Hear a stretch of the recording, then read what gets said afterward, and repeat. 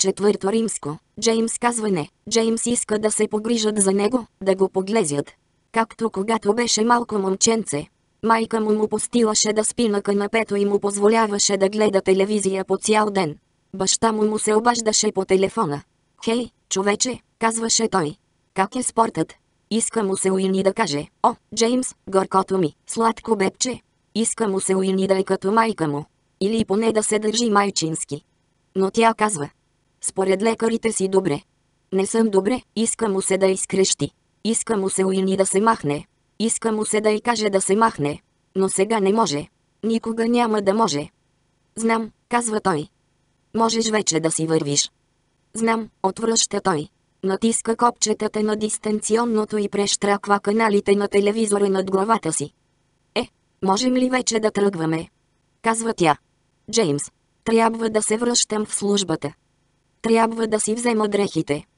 Тук са, отвръща Уини. После взима дрехите му от стола и ги стоварва върху болничното легло. Джеймс поглежда ризата, тениската с емблемата на списанието, в което работи Уини, дънките, чорапите и белите си долни гъщета. Дрехите му изглеждат мърляви. Имам нужда от чисти дрехи, казва той.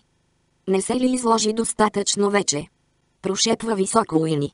Не иска да я чуе старецът от съседното легло, който е практически мъртъв. Чието покрит с струпа и крак се е подал изпод завивките. Няма да си ходя у дома, казва Джеймс. Отивам на пресконференция. Той започва да рови из дрехите си. Все още не се чувства напълно. Нормален. Чувства се друсен.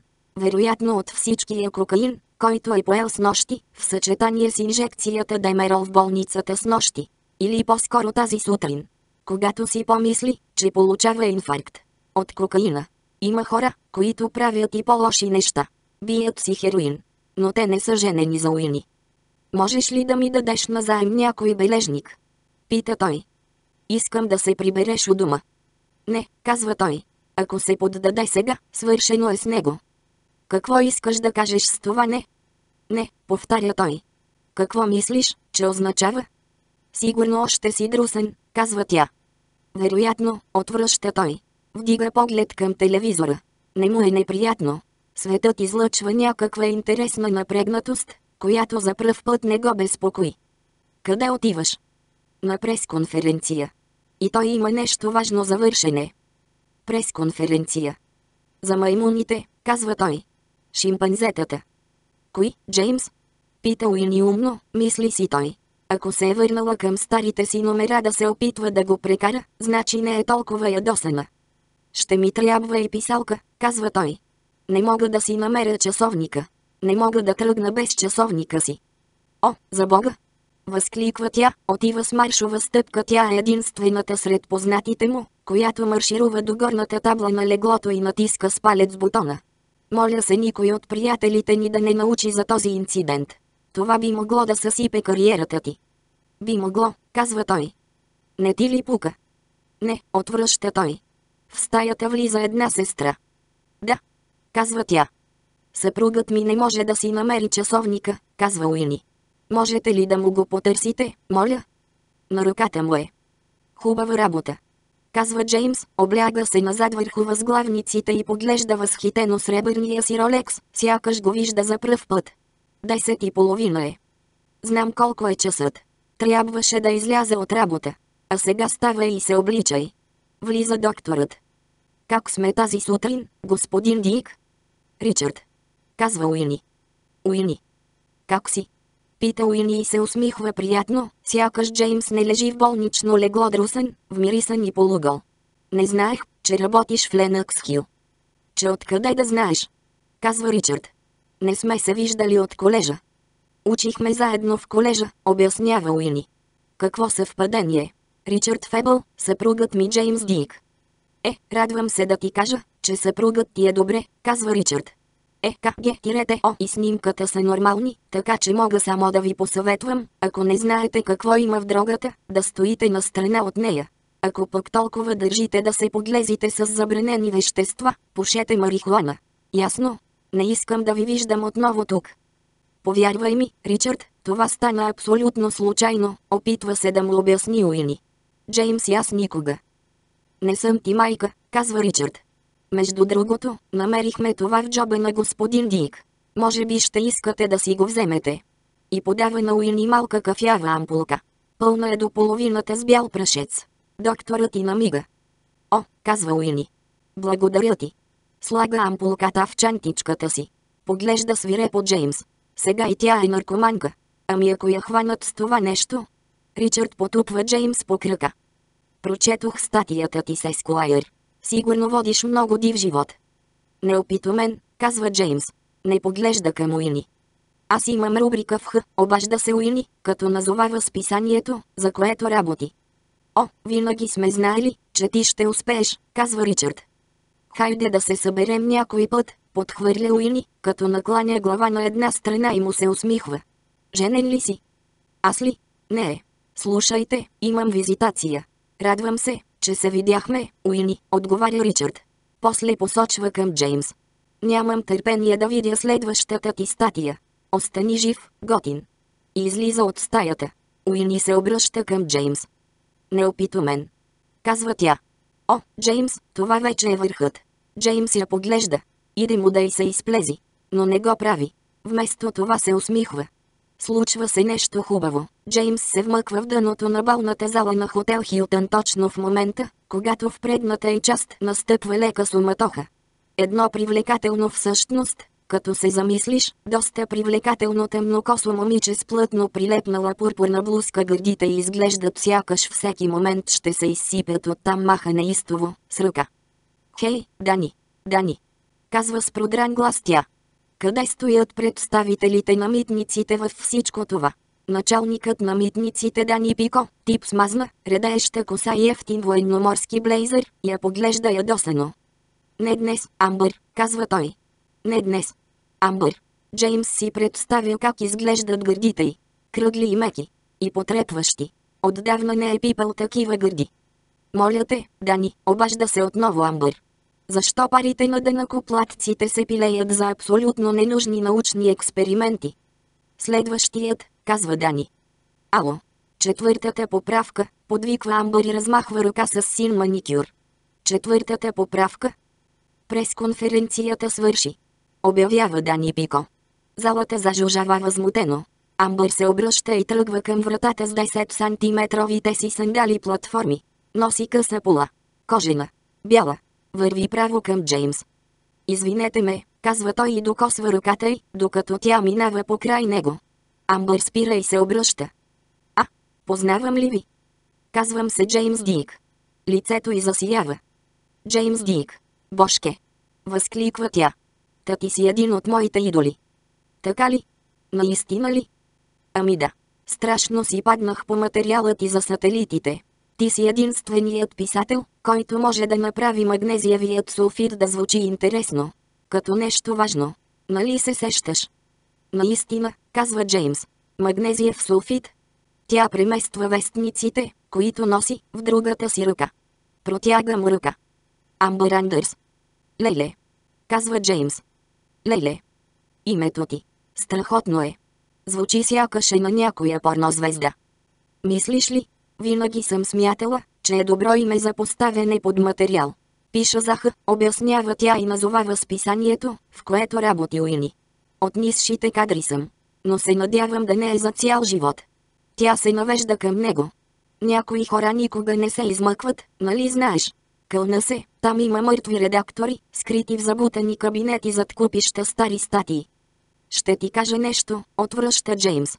Винаги има мъртви редактори, които се спотайват в забутани кабинети и измъчват писателите. Ей, много си забавен, знаеш ли? Никой до сега не ми е казвал, че си забавен. Може би не ме познават, казва Джеймс. Пита се дали тя познава Уини. Пита се и дали момичето знае, че го е надървил. За кого пишеш този репортаж? Пита тя. За неделното списание Таймс, отвръща той. Страхотно, казва тя, пъха пръст в устата си и започва да си гризе нокътя. Вдига поглед към него. Очите й са големи и кафяви. Без бръчици около тях. Тези типове не искат да говорят. Но това няма значение. Имам адреса на склада в Бруклин, където крият маймунските нещастници. Маймунските нещастници. Пита Джеймс. Маймуните. Шимпанзетата. дето провеждат с тях тайния правителствен експеримент. Схващаш ли? Джеймс не може да се сдържи как би могъл да се сдържи. И тръгва след нея. Излизат от хотела и поемат по 56-та улица. Няма да се сетиш от кого взех адреса, бърбори тя. От шофьора на Дани Пико. Може ли да повярваш? Вече са на тротуара и вървят към пето. Имаш ли цигара? Не. Е, няма значение. И без това не вярвах да си пушач. Ей, защо не дойдеш с мен? Да дойда с теб. Пита Джеймс. В склада, глупчо. В склада в Бруклин. Имам адреса, забрави ли? А, да. Адресът, казва Джеймс. Но как ще стигнем до Бруклин? Амбър спира и го поглежда. С автомобилната служба на компанията. Как иначе? С автомобилната служба. Казва Джеймс. Е, няма да хвана обществен транспорт с тези дрехи. 15 минути по-късно тя казва. Хей, Джеймс, имам една идея. Защо не напишем заедно репортажа? Като Удуарт и Бърнстейн. Само, че не искам да бъда като оня дребния. Как му беше името? На кого? Пита Джеймс, загледан в гърдите й. Удуарт. Бърнстейн. Да, отговаря Амбър. Този. Седят на задната седелка на един служебен автомобил от голямата ябълка. В момента минават по Бруклинския мост. Амбър се навежда и слага ръка върху неговата.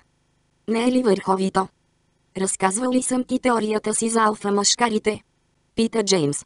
Уини взема решение. Уини иска да бъде обичана. Иска да бъде свидна. Иска да бъде ценена. Всъщност не знае какво означава свидна. То пък кой ли знае? Иска мъжът до нея да казва, обичам те Уини. Ти си толкова красива. Иска той да й подари някакво хубаво бижу. Нима иска прекалено много? Била ли е някога истински обичана? Майка я обичаше. Уини връхлиташе ти чешката вкъщи след училище, за да види майка си. Ходеха заедно в супермаркета. И Дуан Тейлър. Купуваше и половери и полички в ярки цветове. Три четвърти чорапи. Уини носеше три четвърти чорапи дори в колежа. И ленти на челото. Баща я критикуваше. Много. За всичко, което Уини правеше. Когато получаваше само шестици, а оценките й бяха предимно шестици, той казваше, това очаквам. Точно това очаквам от моето дете. Баща я караше да се чувства сякаш не е достатъчно добра. Като че ли нещо и липсва може би мозъчни клетки. Това беше любимият му номер. Уини, казваше той. Я си кажи адреса. Едно, едно, едно. Колко си тъпа.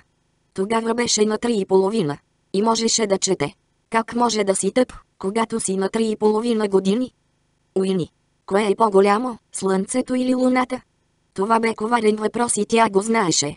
Знаеше, че не е добра в коварните въпроси. Винаги се прекарваше. Луната. Колко си тъпа. Тогава беше на четири. Баща и не я разбираше. Не я разбира и Джеймс. И тя не можеше да го разбере баща си. И Джеймс. Не можеше да разбере защо всичко, което тя направи, е погрешно. Какво искаше той от нея? Какво изобщо искаха мъжете? Нищо. Може би да бъдат оставени на мира. Не можеше да разбере защо всичко, което казва баща й, е закон дори когато той грешеше. Защо трябваше да го слуша? Защо той не можеше да я слуша? А баща й често грешеше. Пусна френския им пудел навън без каишка, където беше нападнат от една немска овчарка. Знаех, че така ще стане, ридаеше след това Уини. Млъквай, сопна и се той. Строг съм с теб, Уини, казваше той. Трябва да бъда. Ти си мързелива. Ако не съм твърд, не знам какво ще излезе от теб. Уини определено е достатъчно интелигентна, постигнала е много. Защо трябва да се бори за всяко грамче уважение? На Джеймс не му се налага. Защо всички я карат да се чувства като кучка? Задето отстоява своето. Трябва да се научиш да отстояваш своето, Уини, казваше баща й. Защото никой няма да го направи вместо теб. Беше прав. Никой друг не отстояваше правата й. Особено мъжете. Какъв безполезен пол. Откакто стана на 4 и трябваше да тръгне на училище с тях, а след това и майка й роди едно, Уини повярва, че трябва просто да бъдат елиминирани. Абортирани. Добре де, можеше да се оставят няколко живи. Но само заради спермата. И трябваше да са превъзходни екземпляри. Какви бяха всичките тези глупости за мъжете, с които и пълнеха главата от малка? че един ден един от въпросните жалки екземпляри ще се влюби в нея и наистина ще я обича. Ха, който е сътворил тази измислица, струва зилиард долара и ще я накара да се чувства пълноценна. Ще й даде нещо, без което тя не ще може да живее. Може да живее без повечето пениси, които е виждала досега, така че всичко това е лъжа. Да вземем например, Джеймс. Трябваше да го докопа. А трябваше да е обратното. Но ако беше чакала, ако го беше оставила да направи всичките стъпки, както мъжете винаги настояват да ги оставяме, още щеше да чака. Трябваше да преследва Джеймс, както бе преследвала всичко останало в живота си. С недвусмислена решителност. Не знаеше как се играе играта момче, момиче. Никой не я беше учил. А и се струваше нечестна и отблъскваща. Слушай, Джеймс, каза тя в началото, след като двамата бяха излизали шест пъти и спали на четвъртата среща. Слушай, Джеймс, няма да играя игрички. Това стана една седмица след шестата им среща, когато Джеймс неочаквано престана да се обажда. Наложи се да му звънне. Как смееше да постъпва така? И защо? Защо се отнасяше така с нея? Трябваше да гоня срок, каза той. Можеше да ми се обадиш, каза тя. Никой не е толкова заед, че да не може да вдигне телефона и да проведе едноминутен разговор. Независимо колко заед казва, че е. Съжалявам. Забравих, отговори Джеймс. Ти. Си забравил? Пита Уини. Възможно ли е човек да е толкова глупав? Бяха ми поставили срок, казва Джеймс. Сякаш това бе някакво извинение. Трябваше да се усети още тогава. И да хукне в друга посока. Тя не знаеше как да играе игрички. Забравил си, каза тя. Отново. А той бе спечелил журналистическа награда. Как смееш да забравяш? Аз спах с теб, Джеймс. Правих секс с теб. Имаме връзка. Как смееш? И затвори телефона. Трепереше. После пак му се обади. И имаш страшен късмет, задето излизаш с мен. Десет минути по-късно той извънна. Искаш ли в понеделник да дойдеш с мен на купона по случай издаването на една книга? Тя прие а трябваше да хукне в друга посока. Но не го направи. Веднъж един мъж и описа любовта си към своята бивша приятелка последния начин. Тя ми беше като любовница, майка, съпруга и дете. За Джеймс тя беше само майка. Джеймс се нуждаеше от нея. Той все още не прави нищо. Когато се запозна с него, той живееше в мъничко ателие с издигнато легло.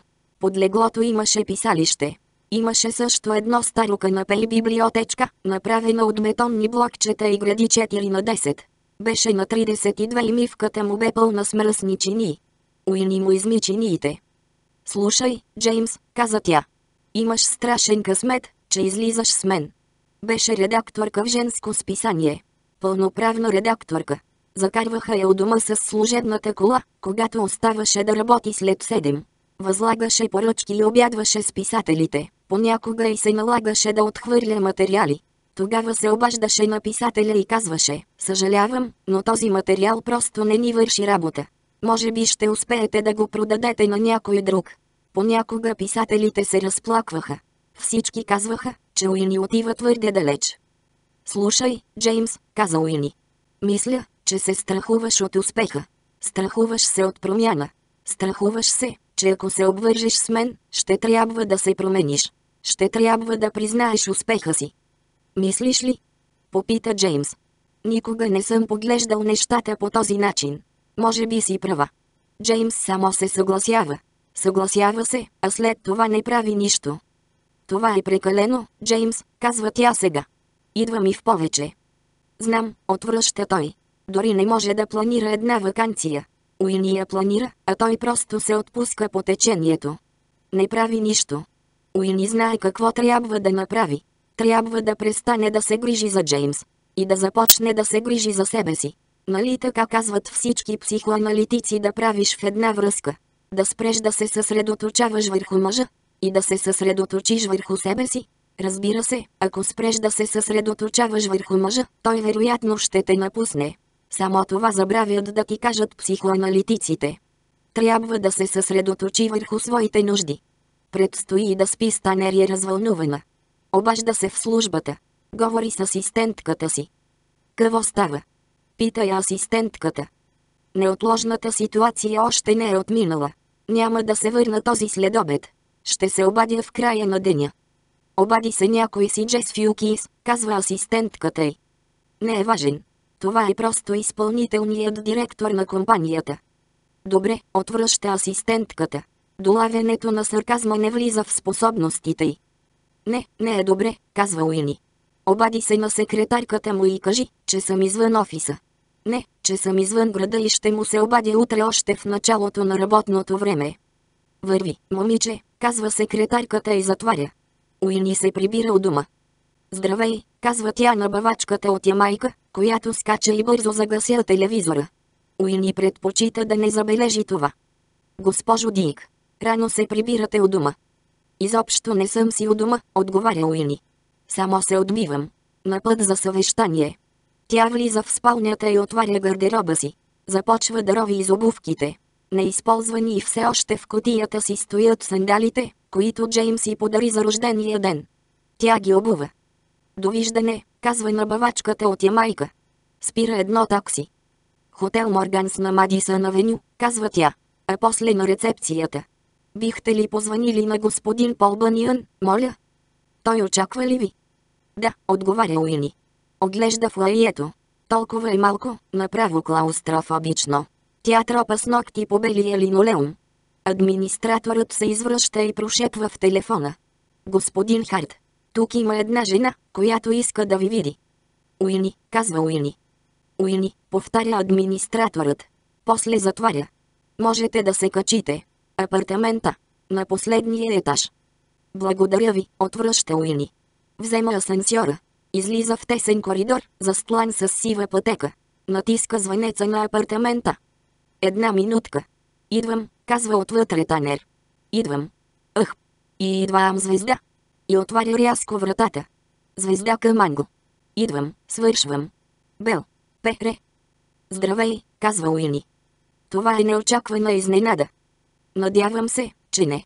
Прекъсвам нищо. Ако прекъсваше, щях да я изхвърля. Спалнята е на първия етаж.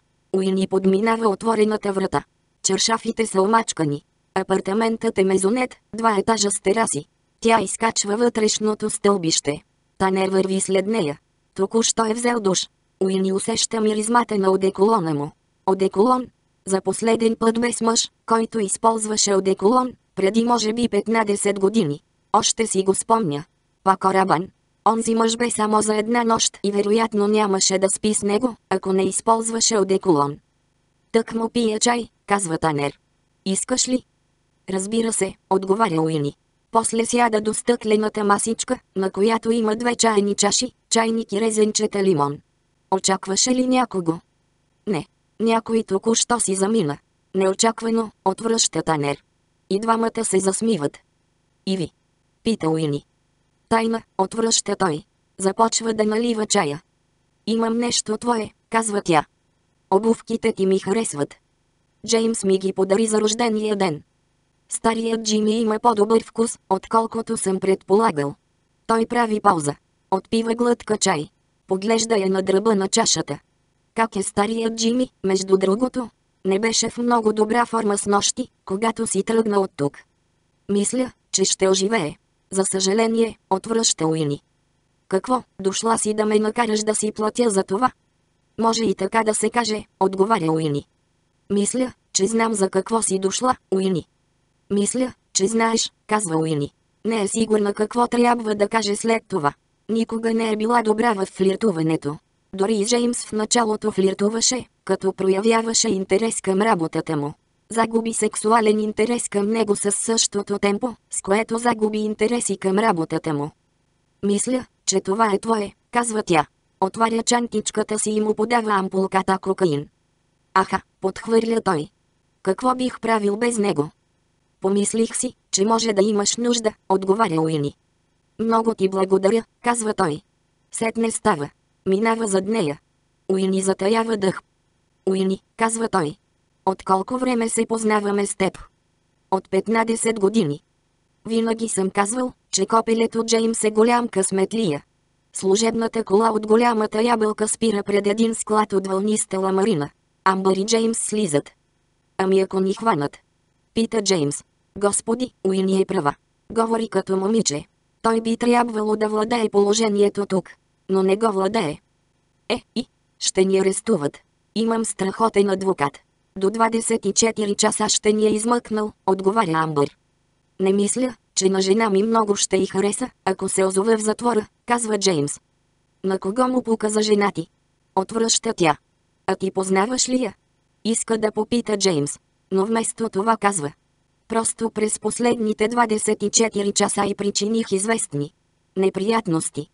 Между другото, какво точно ти се е случило през последните 24 часа? Така и не ми обясни, пита Амбър.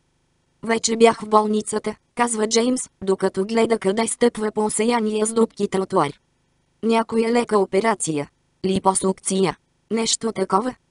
Не, не точно. Амбър отваря вратата на склада. Ще влезеш просто така. Пита Джеймс. Амбър се обръща. Извинявай, Джеймс, но мисля, че именно за това служат вратите. Складът е празен. Нима бе очаквал нещо друго.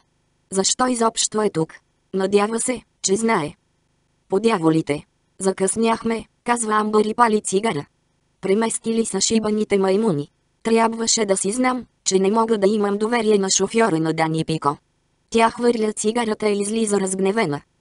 Какво правим сега? Пита Джеймс. Връщаме се. В Манхатън. Какво друго? Подхвърля през рамо тя. Пак се качват в колата. Към дома, моля, казва Амбър. После поглежда през прозореца и прехапва долната си устна. Мамка му. Сега просто ще трябва да си го съчиня. Да се направя, че съм видяла маймуни. Да си го съчиниш. Казва Джеймс. Всички съчиняват разни глупости. Кой ще разбере? Изведнъж изражението й се променя. Прилича на изплашено момиченце. Джеймс, казва тя. Не мислиш, че съм лъжкиня, нали? Аз съм най-честният човек, който някога ще срещнеш в живота си. Това беше адресът, който шофьорът на Дани Пико ми даде. Не съм виновна, че са преместили маймуните. Не, разбира се, че не, отвръща Джеймс. Хората все мислят, че лъжа. Той, защото съм хубава и умна. И просто излизам и докопвам материали. А те само си седят в кабинетите. Завиждат. Какво да правя, че ми завиждат? Не съм виновна. Оле Боже, мисли си Джеймс. Сега ще се разреве. Хей, казва той. Не е чак толкова лошо. Знам, че ще ме разбереш, защото съм сигурна, че хората и на теб завиждат. Тя се примъква по-близо до него. Ти си точно като мен, Джеймс, казва с онзи преластителен, дрезгав глас. Дали е точно като нея? На кого му пука? Аз съм точно като теб, Джеймс. Ние сме като близнаци. Неочаквано го целува. Толкова е непринудена. Направо страхотна. Разбира се, че не е лъжкиня. Как би могло момиче като нея да бъде лъжкиня? Дали е известно, че я желая не по-малко, отколкото тя него? Джеймс плъзга ръка по предницата на блузата и стиска големите й гърди. Иска му се да си свали панталоните и да й го ръгне веднага както направи веднъж на 17 с грозното дебело момиче, което бе готово да легне на всеки го, само че не успя да й го пъхне и свърши във влажната цепнатина на задника й. Амбър слага ръка на пениса му. Изстенва. Колата спира пред една занемарена кооперация без асансьор в долен Ист сайт. Джеймс изкачва след нея двете крила стълби. Въобразява ли си или тя наистина си тика задника към него?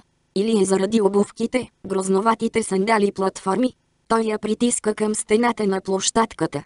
Пъха ръка под полата й. Не носи никакво бельое космата. Тя издърпва ръката му и пъха пръсти в устата му. Страшно съм добра в чукането, казва. Няма да останеш разочарован. Знам, че няма, отговаря той. Прилича на порнофилм.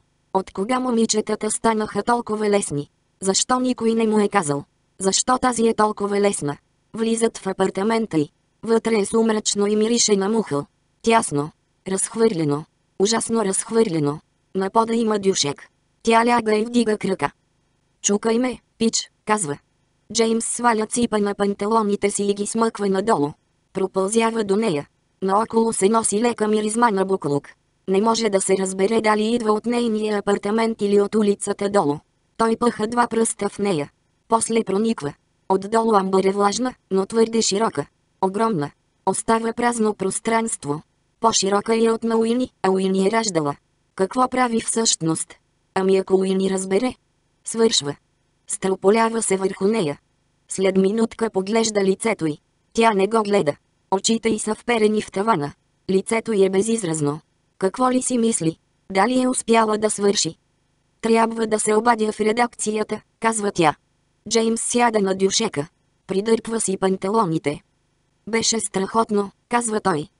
Аха. Знам, отговаря тя, изпълзява от дюшека и отваря мъничкия хладилник. Надявам се, че нямаш нищо против. Имам чужда от едно питие. Налива си половин чаша чиста водка. Не ме гледай така шашнато, Джеймс. Аз никога никого не съдя. Понеже проблемът си е твой, не мой. Ясно? Ако имаш проблем в тия работи, не си го изкарвай на мен. Не го заслужавам. Знам, отвръща Джеймс. Изведнъж започна да се чувства ужасно. Ефектът от дрогата е отшумял. Той е изтощен. Чувства се омърсен. Действително е мръсен. Иска му се да е в апартамента си, в своето легло, и да спи. Ако може да поспи, сигурно като се събуди, ще бъде сякаш нищо от това не се е случило. Притесняваш се да не кажа на жена ти, нали? Пита Амбър. Аз не съм такова момиче. И презум не искам да ти минава, че съм такова момиче, защото не съм. Добре, отвръща предпазливо Джеймс. Тя се приближава до него и обхваща с длани лицето му. Целува го по устните. Никога до сега не си срещал такава като мен. Не искам да се притесняваш. Аз съм най-добрата ти приятелка. Чувствам се малко. Неспокоен, заеква той. Че защо не каза веднага? Имам тонове хапчета. Ксанакс. Клонопин. Декседрин. Декседрин. Наистина ли познаваш Уини? Пита той. Старае се думите му да прозвучат нехайно. Че ти как мислиш, Джеймс? Отговаря тя. Ха. Уини и Танер лежат голи на леглото в апартамента му в хотел Морганс. Уини е затворила очи. Усмихва се. Танер се навежда над нея и отмахва косата от лицето й. Целува я по бузата. Хареса ли ти? Пита нежно той. О, да, отвръща тя. Всъщност и се иска да каже, това беше най-шеметното чукане в живота ми, много ти благодаря, най-сетне разбрах какво значи шеметно чукане, но просто не е такова момиче. Танер хваща дупето и в шепи я притегля към себе си. Тя прокарва ръка по гърба му. Иска да запомни тялото му до края на живота си. Ще запомни тялото му до края на живота си. То е съвършено. Леко загоряло и без косми. Мускулесто, но не прекалено напомпано. Който е казал, че мъжкото тяло няма никакво значение за жените, греши. Уини за пръв път разбира, че сексът може да бъде толкова чист. И красив. Та не е чист. Никога не е виждала толкова чист мъж в живота си. Джеймс има бяла кожа и брадавици. И черни пори, от които израстват руси косъмчета. Понякога има черни точки на гърба. Искаш ли да го направим пак? Пита Танер. Ще можеш ли? А ти как мислиш? Вече усещаше ерекцията му. Само минутка, казва тя. Навежда се и вдига телефонната слушалка. Той я погалва отзад. Толкова нежно, че Уини усеща как отново се възбужда. Тя разтваря леко крака и казва. Ало. Какво става? Пита асистентката й. Просто проверявам как е положението. Кажи на Амбър, че ръкописът и ще ми трябва утре сутринта в началото на работното време. Не мога, отвръща асистентката й. Още е на оная пресконференция. Просто и кажи, става ли? Казва Уини. Мисли си, колко типично. Амбър Андърс е момичето, което изплагиатства нейния материал. Тя затваря телефона. Всичко ли е наред? Пита Танер. Абсолютно, отговаря тя. Джеймс и Уини у дома. Джеймс ще си струши краката да бърза за дома. За пръв път. Ако се прибере преди Уини, ще може да си вземе душ. И да се престори, че всичко е наред. От сега нататък всичко ще бъде нормално. Той ще се концентрира. Ще напише тази книга. Чувства се отвратително. Повече не може да понася да се чувства отвратително. Така ли се чувства Танер, след като се друса и чука първото му попаднало маце, за което пет пари не дава? Смутен и объркан. Той отваря вратата на апартамента си. Затваря я. Джеймс. Вика Уини. Радвам се, че се върна у дома. Уини е в стаята на тяхното момченце. Играе си с тяхното дете. Помага му да ниже манисте на струна. Седнала е на пода и е свалила обувките си. Изглежда щастлива. Виж, татко, казва момченцето му. Здрасти, готин, отвръща Джеймс. Тате. Бум-бум, казва момченцето. Не, намесва се Уини. Не застрелвай татко. После се усмихва. Какво момче, а? Бум-бум, казва Джеймс на момченцето. Бум-бум и на теб. Клей е тук, прошепва високо Уини. Вероника го е изритала от къщата. Дали да не ви изритам двамата да отидете на хотел? Но пък, като се замисля, май ще е най-добре аз да отида на хотел и да ви оставя да го платите. Искаш ли да отидеш на хотел? Пита Джеймс. А ти как мислиш? Отвръща Уини. Как мина денят ти? Страхотно, вдига поглед Уини. Чуках се с Танер цял следобед в хотелската му стая.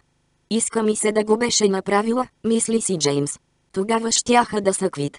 Тогава нямаше да се притеснява от нищо. Но пък щеше да изникне проблемът с Танер. Нямаше да могат да бъдат повече приятели. И всеки път, когато погледнеше Уини, щеше да си мисли как Танер е чукал. И за всичките други момичета, които Танер е чукал. Може би щеше да се наложи да се разведе с Уини. Чичо Клей повърна в мивката, казва момченцето му. Шъщ, сгълча на Уини. Как мина твоят ден? Отидох на онази пресконференция. Не струваше. Нали те предупредих, отбелязва Уини. Трябва ли да й каже? Трябва ли да й каже, че е срещнал Амбър Андърс на пресконференцията? Ако смята да й казва, сега е моментът. Ами ако Амбър каже на Уини, че е срещнала Джеймс? Ами ако й каже, че е чукала Джеймс? Ако каже на Уини, че е срещнала Джеймс, Уини ще се чуди защо не е казал пръв. Срещнах една, дето работи в твоята редакция, осмелява се най-сетне той. Коя? Анди. Амбър някоя си. Амбър Андърс, подсказва му Уини. Мисля, че така беше. Какво каза тя? Нищо, отговаря Джеймс. Само, че е чела материала ми за сателитите. Вероятно ще го изплагиатства. Тя беше онази, която изплагиатства моя материал. Опитвам се да се отърва от нея, но не мога. Трябва да го направиш, казва Джеймс. Изглежда малко нещо луда. По-лоша е от Иви.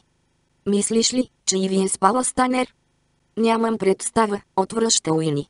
После взема няколко маниста и ги нанизва на струната. Мисли си за Танер. Колко беше силен, как нежно я повдигаше и преместваше в различни пози.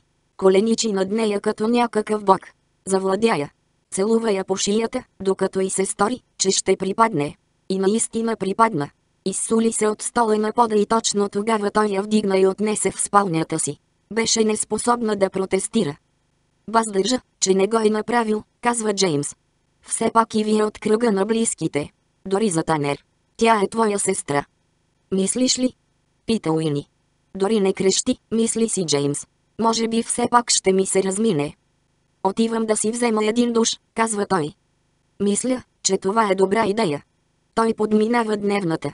Клей спи на канапето. Дали е чука Ливи? С нощи, когато Джеймс напусна хотелската стая на Танер, Клей и Иви още бяха там. Наистина ли Клей и Иви биха направили такова нещо? Господи! Той искаше да чука Иви. Някъде в продължение на две секунди. После обаче заговори на Танер за уния глупости с маймуните. И алфа машкарите. Какво ли, подяволите, бе дрънкъл? Ами ако беше спал с Иви, с сестрата на Уини. Щеше да бъде все едно Танер да е спал с Уини. Той влиза в спалнята. Там е чисто. И подредено.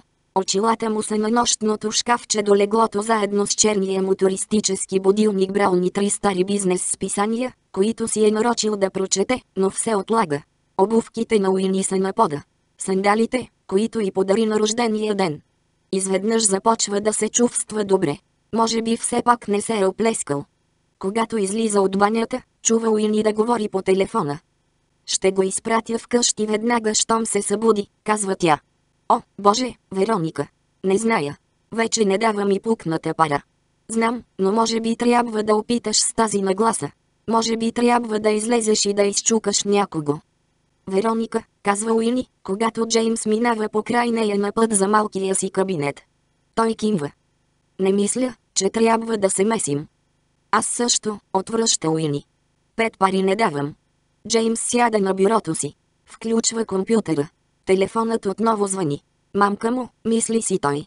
Ами ако е Амбър. Не съм ми давал номера си. Но тя сигурно има номера на Уини. Работят в една и съща редакция. Не, това е само параноя. Амбър няма да каже нищо. Не е такова момиче. Чува как Уини се кикоти тихичко на телефона в кухнята. Определено трябва да го направим пак, казва преластително тя. Никога до сега не я е чувал да говори с този тон. Следващия път, когато дойдеш в града. Танере. Виква тя. О! Джеймс вдига слушалката. Хей, човече. Здрасти, човече. Как се чувстваш? Кофти. Иска му се да каже на Танер, че е чукал. Защото е чукал. Наистина е чукал. Но определено няма да каже на Танер за вагината на момичето. Беше огромна. И малко смърдеше. Определено няма да го направи пак.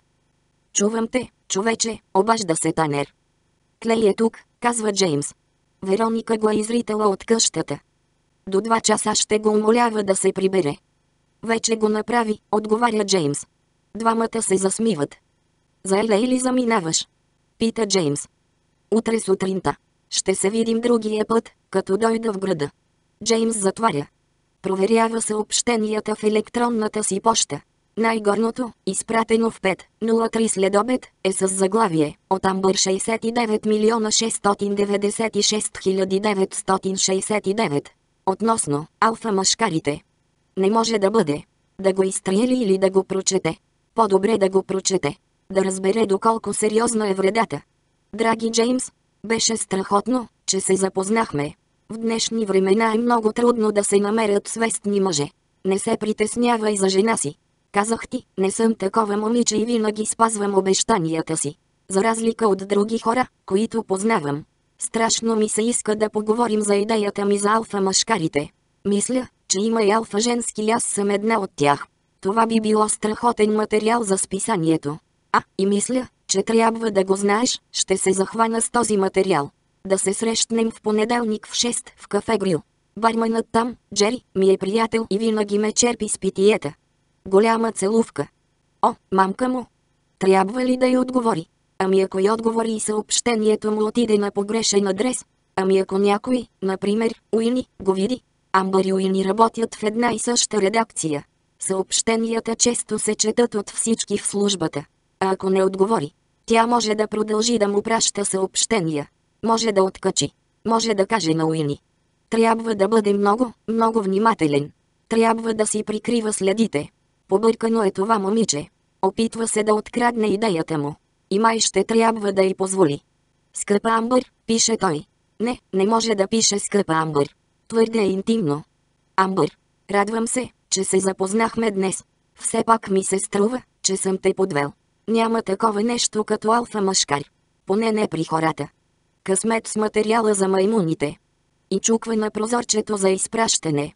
Телефонът отново звънва. Джес. Възкликва Уини. Каква привилегия. Каква подмазвачка е, мисли си Джеймс. Имах неотложна ситуация, но мога да ти обещая, че повече няма да се случва. О, да. Обожавам този проект. С правилно управление може да се превърне в огромен успех. Благодаря ти. Страшно ти благодаря, Джес. Боже мой, обещавам ти, че ще си заслужа всяко пени. И затваря. Джеймс, казва Уини. Той скача. Така ли ще бъде от сега нататък? Ще подскача от страх всеки път, когато Уини влезе в кабинета му. От страх, че може да разбере. Беше Джес Фюкис, изпълнителният директор. Току-що ми предложи да ръководя сайта им в интернет. Ще изкарвам по 500 000 годишно. С възможност да закупувам акции. Джеймс не казва нищо. Поразен е. Не можеш ли да бъдеш малко по-развълнуван? Вече съм голяма клечка. Развълнуван съм, отвръща Джеймс. Не ми ли личи? След това Уини прави нещо, което никога до сега не е правила. Приближава се до него. Слага ръка върху косата му. Разрошва я. И аз се гордея с теб, казва тя. Работи наистина упорито. Сигурна съм, че този материал за маймуните ще бъде страхотен. Може би си прав. Може би наистина от това ще се получи книга. Уини се прозява. Малко съм изморена. Ще си поръчам суши и после си лягам. Да ти поръчам ли обичайното? Калифорнийско руло? Разбира се, отвръща Джеймс. Платина, първо римско, моят дневник, усмихни се. Ти имаш всичко. О, Боже! Никакви имена. Шпиони има навсякъде. Мразя всички и всичко, включително съпруга си. Защо? Колко съм лоша. Тази сутрин му го върнах тъпкано, задето се прибра в 1.23 сутринта.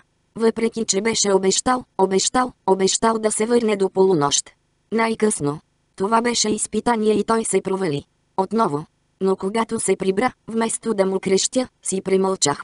Лежах будна цяла нощ и имах чувството, че главата ми ще експлодира, а това сигурно ще стане някой от тези дни. Но кажа ли му го, той просто ще ми предложи да пина още хапчета. Е, ако престане да бъде такъв задник, няма да ми се налага да вземам никакви хапчета. А сега в някои дни чувствам краката си като гумени. Нищо чудно, че едва прекусявам стаята, за да вдигна телефона. Така че тази сутрин, когато той стана, се престорих на заспала. Веднага щом чух швъртенето на водата в банята, извадих тайните си запаси и смърках дълга писта от скапания кокаин, който на взе от бармана в ма. Разбира се, след около минута започна адски да ми се повдига. Влетях в банята и повърнах няколко пъти, докато той стоеше ужасен, с крем за бръснене по лицето. Изправих се разтреперена и залитнах назад към стената, като същевременно си бършех очите. Добре ли си? Попита той. Усмихнах се тайнствено и казах. О, да, вече съм добре, предполагам. Не знам какво ми стана.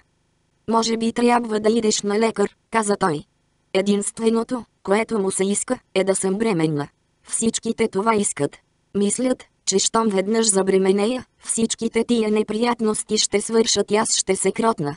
Аз съм като Мия Фарол в бебето на Розмари. Страшно съжалявам, че бях заспала, когато си се прибрал. Забавлява ли се? Попитах. След това пак отидох да си легна, а той влезе в спалнята, преди да тръгне за тъпия си офис и, разбира се, каза. Мислиш ли, че си бременна? О, вероятно не съм. Но не ти е добре. Не мислиш ли, че трябва пак да отидеш при докторка? По цял ден само ходя по доктори. Креснах, но след това пак видях онова негово непроницаемо изражение и минах на преластителния тон. Нищо ми няма. Не се тревожи за мен. Ще се оправя. Но аз въпреки това се тревожа за теб, рече той. Тогава защо не си останеш у дома да ми правиш компания? Попитах. Е, майната му. Очевидно сбърках, като казах това, защото той само поклати глава, потупа ме по крака и тръгна. Мразя го. Какво иска от мен? Каква иска да бъда? Каква изобщо би трябвало да бъда, моля? Би ли ми казал някой, моля? В един и половина отивам на сеанс при доктор Х. Той ме кара да чакам 3 минути и 42 секунди, което прави почти 4 минути и е абсолютно неприемливо. Две и половина минути е допустимото време за всеки. Винаги и на всички съм казвала, че не бих чакала повече от две и половина минути, освен ако аз не карам някого да чака. Именно това бе причината да откажа да ме снимат за корицата на оновата по списание ВОК. Онази идиотка каза, ще накарам някой веднага да ви се обади, а аз я попитах, какво имате предвид под веднага? А тя отговори, до 5 минути, а се обади след 18 и тогава аз и казах, съжалявам, не съм заинтересована. Имам си и други причини, а именно, че мразя тази жена толкова я мразя, че дори не бих изрекла името й, но повече за това по-късно. Колко типично, пациентът пред мен, който с забавенето си изяде време от моя час при доктор Х. Се оказва една 40 годишна жена с къси спортни гъщета. Дори не са Калвин Клайн. И държи в ръка хартиена салфетка. Защо жените винаги реват в кабинетите на психоаналитиците? Е, казва доктор Х. Според мен забелязва, че се държа изключително студено издържано. Как сте днес? Все още ли смятате, че някой от семейството тайно ви трови? Кое, за Бога, ви кара да говорите така? Това, отвръща той, като прелиства бележника си, е, което казахте вчера. Все пак тази сутрин повърнах. Разбирам. Не казвам нищо. Просто си седя на стола и барабаня с пръсти по металната облегалка за ръката. Разбирам, казва отново доктор Х. И какво точно виждате, доктор Х? Виждам, че отново сте си сложили кърпа на главата. Което ще рече. Носите кърпа на главата и черни слънчеви очила от две седмици. Усмихвам му се смразяващо. Е, как се чувствате, като носите кърпа на главата и черни слънчеви очила? Как мислите, че се чувствам, доктор Х? Защо не ми кажете? Не, отвръщам. Защо вие не ми кажете? Защото това би, а, обезсмислило целта на нашите консултации. Уф, доктор Х. е толкова задръстен. С тях се чувствам в безопасност, казвам. От отравителя в семейството. Понякога ми иде да убия доктор Х. Наистина. Да. У. Се обади.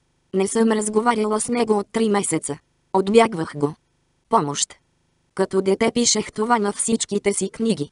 Увивах ги с кафяви книжни пликове и написвах отгоре името си с цветни фломастери. Вместо точки на ай тата поставях малки кръгчета. Да. У. Знае прекалено много. Разбира се, той се обажда в най-неудобното време. По средата на историята на Карлан Карпентър, която гледам може би за 57 път. Телефонът звънва точно на сцената, когато Карлан най-сетне се нанася в собствен апартамент, а майка й намира котията с слабителни. Да. Казва с онзи сладникъв глас, който толкова мразя. Здравей, миличко. Какво правиш? Шъщ, отговарям. Караней сега ще излъжи майка си, че няма повече да взема слабителни, а тя наистина ще й повярва. Как може да е толкова тъпа? А после? После Каран ще отслабне до 35 кг и ще получи инфаркт на вечерята по случай Деня на благодарността. С други думи, ще я убие по ешкото. Колко невероятно! Очарователно, казва да. У. Страшно съм заета, така че какво искаш, да. У. Питам, макар да знам, че е ужасно грубо, но ако се държа грубо, той може би ще разбере и ще изчезне от живота ми за още три месеца. Какво ще правиш по-късно? О, по-късно ли? Отговарям безгрижно. Мисля да изсмъркам няколко писти кокаин, да изпия няколко ксанакса и да се обадя няколко пъти с приправен глас в службата на съпруга си. А след това ще разходя кучето за десети пъти ще покрещя на някой и друг фотограф. Какво мислиш, че може да правя? Знаеш ли, ти наистина си едно забавно, очарователно момиче. Никой не съзнава, че си такава, а това е много жалко. Ако можеха хората да видят истинската ти същност. Мислиш ли, че съпругът ми кръшка? Питам аз. О, стига, скъпа. Защо ще кръшка, след като е женен за една от най-красивите жени на света? Пауза. Защо мислиш, че ти изневерява? Не точно сега, отговарям, просто проверявам дали не съм откачила. Виждаш ли? Казва злорадо да. У. Така става, като загубиш връзка с старите си приятели. Ние не сме загубили връзка. И точно за това абсолютно настоявам до вечера да вечеряме заедно. Не трябва ли да присъстваш на някое фамозно празненство? Само на едно малко слоре в магазин. В подкрепа на една много стойностна кауза. Но след 8 съм свободен.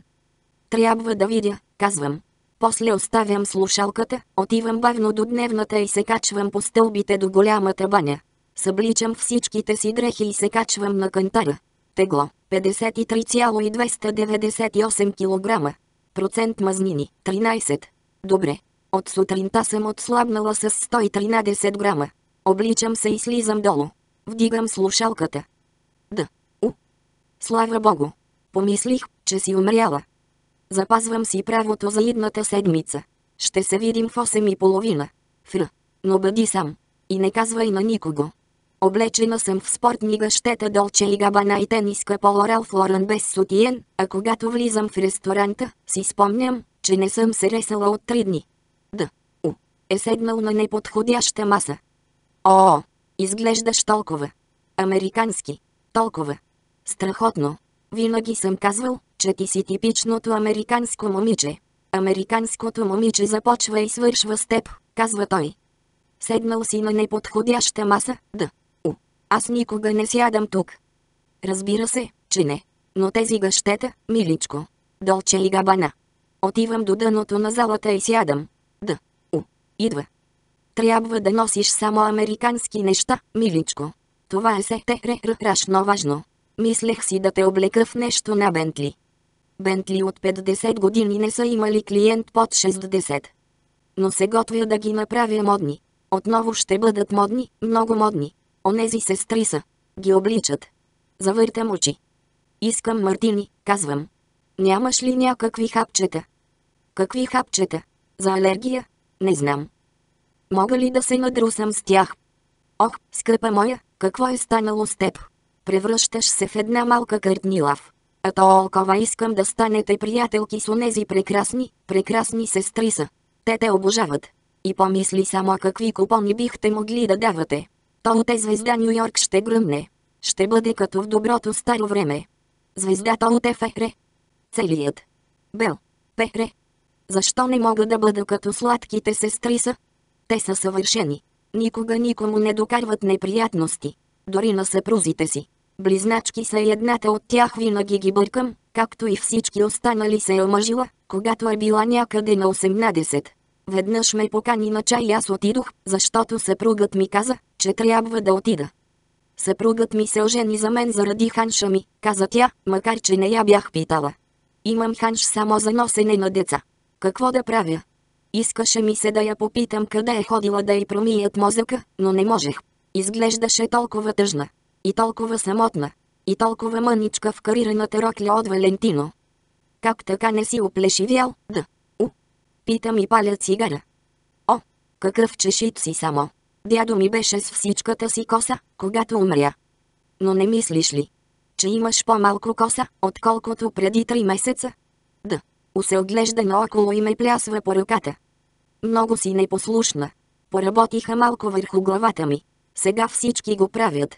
Знаеш, времената се промениха. Всеки бива сниман. Имам предвид, виж какви ужасни снимки се появяват понякога в списанията. Но точно на теб не е нужно да го казвам. Сега па. Прави нещата както трябва. Знаеш ли, че ничия, ама ничия снимка не може да се появи в светските рубрики без нейното одобрение? И, разбира се, човекът трябва да е подходящ. Тя има страшно високи стандарти.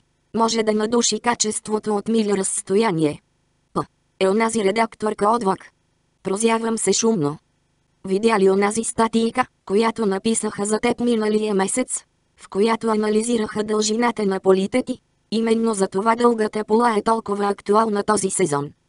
Това е само защото, казвам и тръсвам пепелта от цигарата си на пода, подгъвът на онази пола се разши и ме мързеше да го зашия.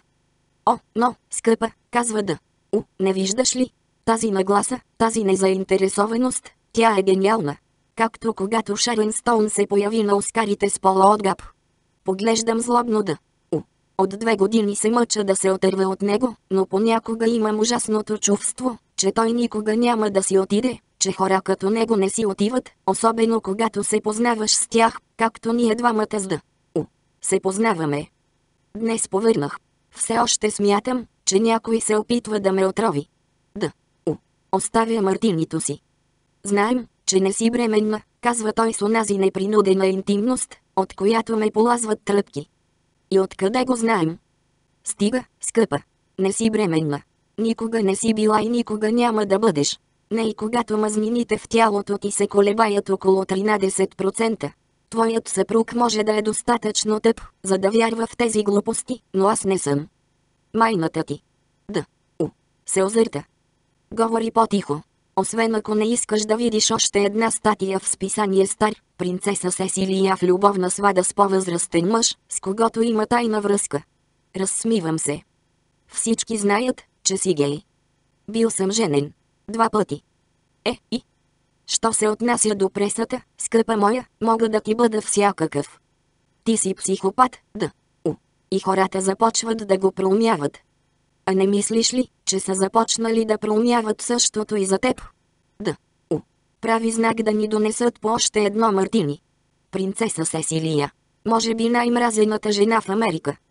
Хилари Клинтън ме хареса. Поеми си дълбоко дъх, скъпа моя, казва да. У. И ме потупва по ръката. Има ужасни островърхи пръсти. Може би не най-мразената. Май по едно време хората мразеха Хилари Клинтън повече от теб. Но определено трябва вече да ти е просветнало, че онези ужасни снимки едва ли са грешка. Паля друга цигара. Е, и? В кабинетите на фоторедакторите из цялата страна се разиграва една малка игра, да публикуваме възможно най-лошите снимки на Сесилия. Мисля, че дори имат залагания, в които участват и фотографите. Джакпотът трябва вече да е стигнал 10 000 долара. Млъкни. Просто млъкни. Затварям очи. И след това правя каквото бях научена още преди години, като дете. Започвам да плача. Животът ми е гаден. Винаги е бил гаден, ако искате да знаете истината. Да. У. Се засмива хрипливо. Гледал съм вече този театър. И не заслужаваш дори капчица съчувствие. Никога не съм виждал човек, когато да са прецаквали така забележително. Вземи се в ръце. Смръкни една писта кокаин или нещо подобно. Отивам си у дома. И смятам да забравя, че някога сме водили този разговор. На твое място не бих го направил, скъпа моя, казва да. У. И ме сграбчва за ръката. А, да. Бях забравила колко силен може да бъде да. У, нищо, че е педал.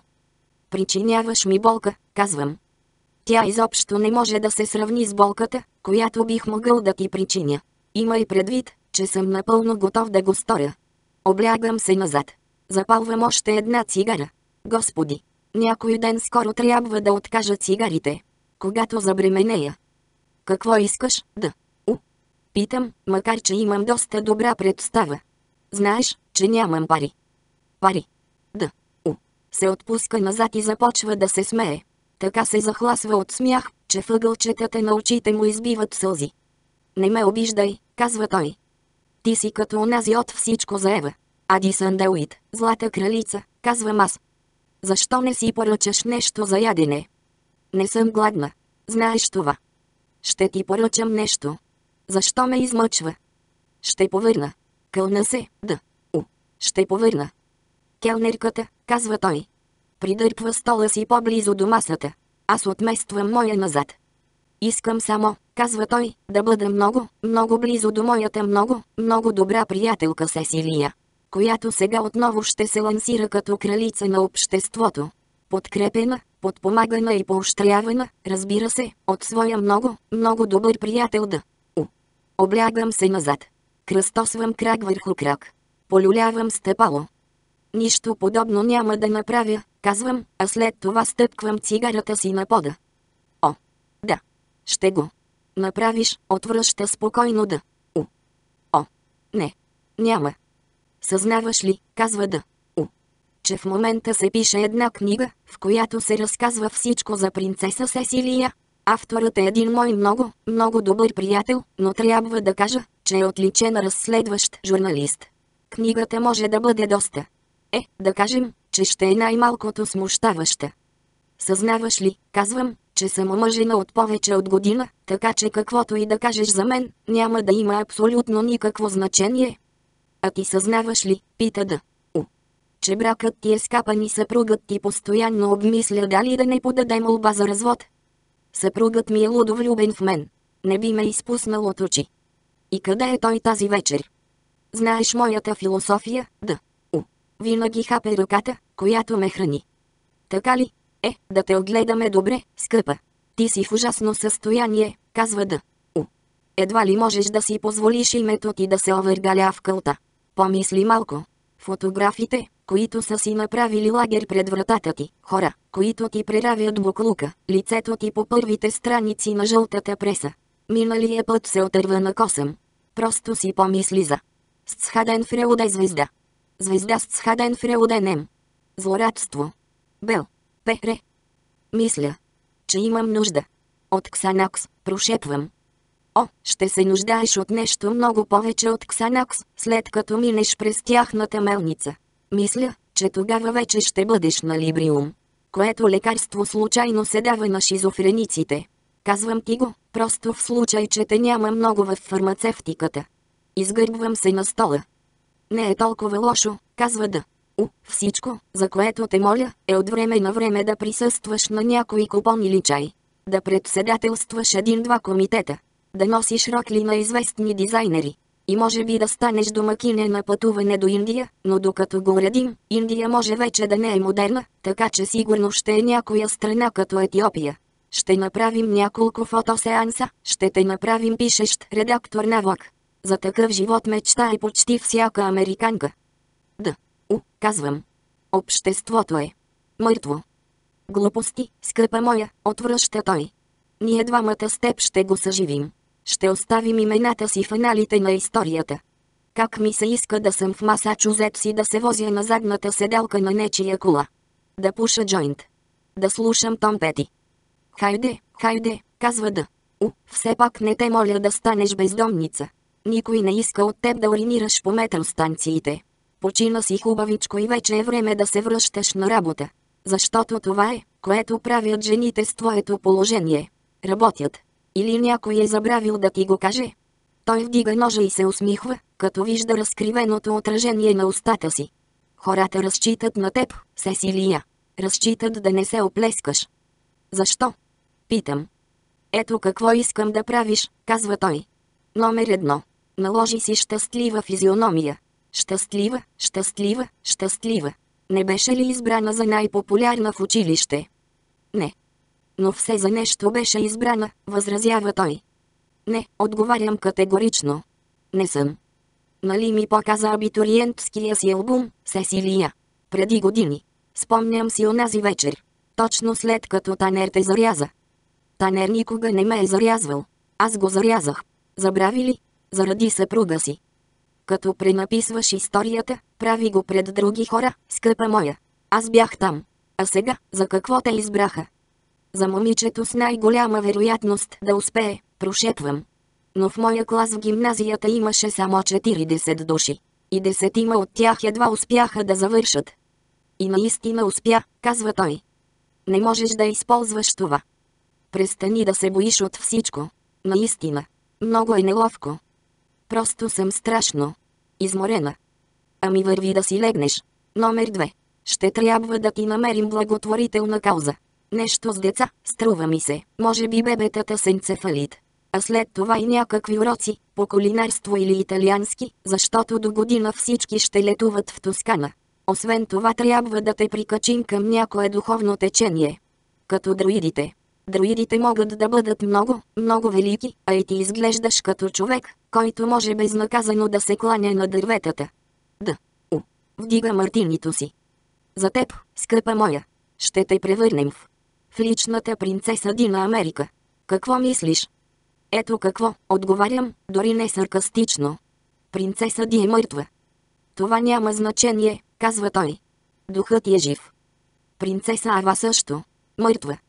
Както и Мерилин Монро. И Франк Синатра. На кого му пука? Всичките са мъртви. Трябва да престанеш да гледаш толкова отрицателно на нещата. Не ти ли се случва да се събудиш сутрин и да си кажеш, Господи, успяхме? Защото постигнахме целта си. Ти си принцеса. Истинска принцеса. Не, отвръщам мрачно. Винаги съм знаела, че това ще се случи. Заедно с други неща, предполагам. Никога повече не бива да го казваш. Никога. На когото и да било, казва да. У, Боже мой, Сесилия. Ето защо не умееш да се справяш. Трябва да спреш да говориш истината. Когато някой те попита, а те ще те питат, до сега си избягвала да даваш интервюта, но ще трябва да започнеш, задължително казвай, че си нямала представа кой е, когато съвсем случайно си му продала онази картина в галерията. Но аз наистина му продадох онази картина в галерията. Не в това е въпросът. Приказките за съдбата минават само в арабските страни. В Америка звучат някак твърде. Пресметливо. Знаем, казва той и допива мартинито си, че ти си точно такава. Но не е нужно хората да разбират това. А сега за сестрите с. Не, казвам. Направо ме подлодяват. Защо? Те са млади, красиви, богати и омъжени. Всички искат да им бъдат приятели. Изглеждам го свирепо. Искам да се хвана с две ръце за главата, но съм твърде изморена. Не мога нищо да обясня.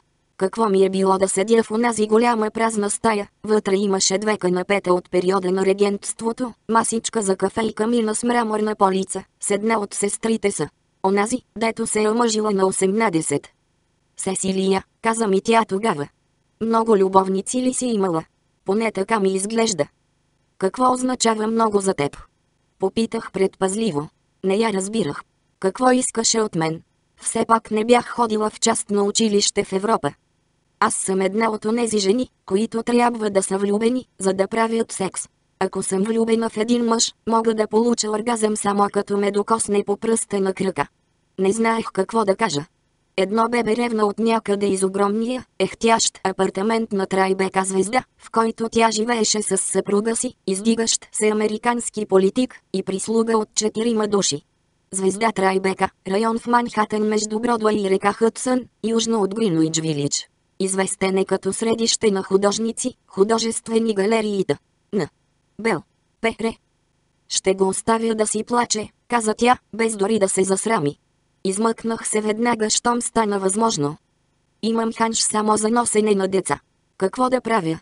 Попитаме тя и аз се почувствах омърсена. Каза ми една мръсна тайничка, която не исках да чувам. Келнерката пристига с две чини. Слага едната пред мен. В нея има пилешко с зелен боб и картофено пюре. Трябва да ядеш, казва да. У. Вдигам с пръсти една шушулка зелен боб. Слагам я в устата си. Дъвча. Успявам да я глътна. Веднага започвам да се чувствам преяла. Пилешкото, казва да. У. Вкусно е. Покрито е с някаква кафеникава глазура. Лъщи. Това е едно парче мъртво месо. Срязвам го. Отвътре е розово. Като малко розово бебе. О, господи, казвам. Оставям приборите, вдигам салфетката си и повръщам в нея. Второ римско. Ла-ла-ла-ла-ла-ла. Всеки ден и във всяко отношение ставам все по-добре и по-добре. Не. Ставам все по-зле и по-зле. И кой може да ме обвинява? Всеки. Всички ме обвиняват. Не мога да понасям славата. Наистина, наистина никаква ме няма в това отношение. Съпругът ми го знае. Не е ли то една от причините, поради които изобщо се ожени за мен? Не ми пука за славата. Или парите. Не искам да бъда известна. Искам само да бъда с него. Той е всичко за мен. Аз съм нищо. Без него. Оставете жена ми на мира. Креснах Хюбърт на фотографите по време на медения ни месец в Париж Рим, а след това на един далечен остров близо до Тунис. Кои те смофем? Кои те смофем звезда? Повтаряше той отново и отново и ме прегръщаше покровителствено с една ръка, а аз навеждах глава и минавахме бързо от хотела до колата, от колата до музея, от музея до бутика и накрая тези думи се превърнаха в нещо като шеговита мантра. Звезда кои те смофем фехре? Оставете жена ми. Бел. Пехре. Често се случваше да лежа във ваната сред камари пяна и когато Хюбърт влезе, да кажа. Кои те смофем? Тогава и двамата избухвахме в смях. Вече от много време не сме избухвали в смях. Мисля, че храната в Тунис бе първото нещо, което ме накара да загубя апетит. Вечно се налагаше да ядем някакви яхни, един господ знае какво имаше в тях, блок, с клисави парчета хляб, и аз просто не можех. Не и пред Хюбърт. Внезапно добих усещането, че той ме гледа. И мислено ме критикува. И се чуди дали изобщо е трябвало да се жени за мен. Добре. Значи ще гладувам. Никой не ме харесва. Мислите ли, че не го зная? Мислите ли, че не седя с часове, отчасти защото ме тъпчат с всичките тези хапчета казват, че всеки момент трябва да подействат и тогава няма да бъда повече потисната, но се съмнявам в това и не се тързая от всяка обида, знаейки, че хората навън ми се присмиват зад гърба и казват, защо не идва на ум. Каква трагедия! Колко глупаво от негова страна да се ожени за нея, със сигурност не се е оказало такова, каквото е очаквал, обзалагам се, че се чувства нещастен, когато аз съм тази, която се чувства нещастна, но не можеш да кажеш такова нещо на хората, нали? Особено когато си жена. Защото бракът би трябвало да те направи щастлива, а не да те кара да се чувстваш като плъх, затворен в луксозна клетка с завеси за 20 000 долара. И това е най-доброто. Няма да стане по-хубаво, нали? Защото това е върхът, мечтата, черешката на тортата, край на тревогите. Повече никакви грижи. Майка ти няма да гладува на старини. Сестра ти ще има новата кола, за която мечтае. Децата ти ще ходят в частни училища, ще имат бавачки и всички играчки, които поискат, включително пони. Ще бъде върната честта на фамилното ти име. Майка ти ще се гордее с теб. Баща ти, който и да е, копелето му с копеле, ще разбере, че е направил ужасна грешка. И ще имаш едно замък, две къщи по целия свят, три шофьор, четири много дрехи с подходящи обувки и чантички, пет бижута, шест кон, седем седло седла от Ермес и осем никакви приятели. Но ето кое най-много ме вбесява, всеки мисли, че би могъл да живее по-добре моя живот. Смятат, че ако имат моя живот, ще бъдат толкова щастливи, че всичко ще правят перфектно. Но те просто не схващат. Нямат никаква представа. Не биха могли да се докопат до този живот, ако не притежават моята индивидуалност и моята външност. Ако промениш едно нещо, съдбата изобщо няма да се задейства. Например, Хюбърт би харесал само жена, която е висока, руса, слаба и с големи гърди. И по-млада. И с определено лице. От класа. Никога не би се хванал с модел, понеже не иска да бъде с жена, с чиято снимка мастурбират други мъже. И индивидуалност. Трябва да знаеш как да боравиш с мъжете. Да умееш да ги манипулираш, само дето манипулирам не е най-точната дума, защото носи известно отрицателно значение. Това, което трябва да правиш, е винаги да си различна. Непредсказуема. В някои дни да си много мила, сладка и любяща, а в други – абсолютна кучка и студена като камък. И те все се връщат, защото никога не знаят каква ще те заварят. Трябва да умееш да се държиш надменно и да предизвикваш ревност у мъжа. Но не ще можеш да го правиш, ако нямаш подходящата физика, иначе мъжът ще каже, че си кучка, че всъщност не се нуждае от теб и ще те зареже. Разбира се, има жени без подходяща физика, които се омъжват добре, но никога за мъже като Хюбърт. Всъщност, до последния момент Хюбърт не беше напълно сигурен, че ще се омъжа за него. Виждали сте физиономията му на сватбените снимки. Колко щастлив изглежда, когато излизаме от църквата. А, и още нещо. Никога не бива да си мислиш, че съпругът ти или хората, на които те представя, са по-добри от теб. Това, че съпругът ти е принц, не означава, че е по-добър от теб. Може да се запознаеш с човек, който току-що е спечелил Нобелова награда, но трябва да знаеш, че той не е нито по-добър, нито по-пълноценен от теб. Винаги съм си мислила, че съм не по-лоша от останалите, независимо какво са направили, колко много хита са имали или колко упорито твърдят, че са работили. Един ден Танер ми каза, че нямам чувство за пропорция, понеже не си припадах по актьорската му кариера, и аз веднага скъсах с него. В живота просто не става така, нали? Сега се чувствам по-добре. Мисля, че ще мога да заспя. Трето римско, объркана съм. Всъщност за нещо съвсем дребно. Като се връщам към миналата година, точно след като двамата с Хюбърт се оженихме. Поисках му пари да си купя дрехи. Не разбирам, каза той. Хюбърт, отговорих, нямам никакви дрехи. А какви са всичките онези неща в гардероба ти? Имам нужда от нови дрехи, казах и въгълчетата на очите ми започнаха да се събират сълзи. За пръв път моят съпруг ми отказваше направо, доказателство, че вече не ме обичаше. Никога не съм виждал баща ми да дава на майка пари за дрехи. Отпускал и е месечни суми, отвърнах аз. Не знаех дали това е истина, но знаех, че думите ми са много дръзки, понеже имаше голяма вероятност Хюбърт да ги приеме като критика срещу майка му. Той така и направи. Какво се опитваш да кажеш за майка ми? Нищо, отговорих аз. Тогава защо я спомена? Не съм. Ти я спомена. Ти я спомена.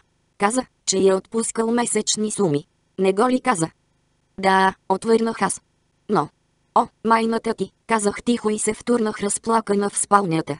Той не дойде веднага, както обикновено правеше, а и когато дойде, се престори, че изважда някаква вратовръзка от гардероба. Хюбърт, казах търпеливо. Нуждая се от дрехи. Не искам тумба репортери да следват жена ми по петите и да пишат статии за това колко много пари харчила за рокли. Ти искаш ли го?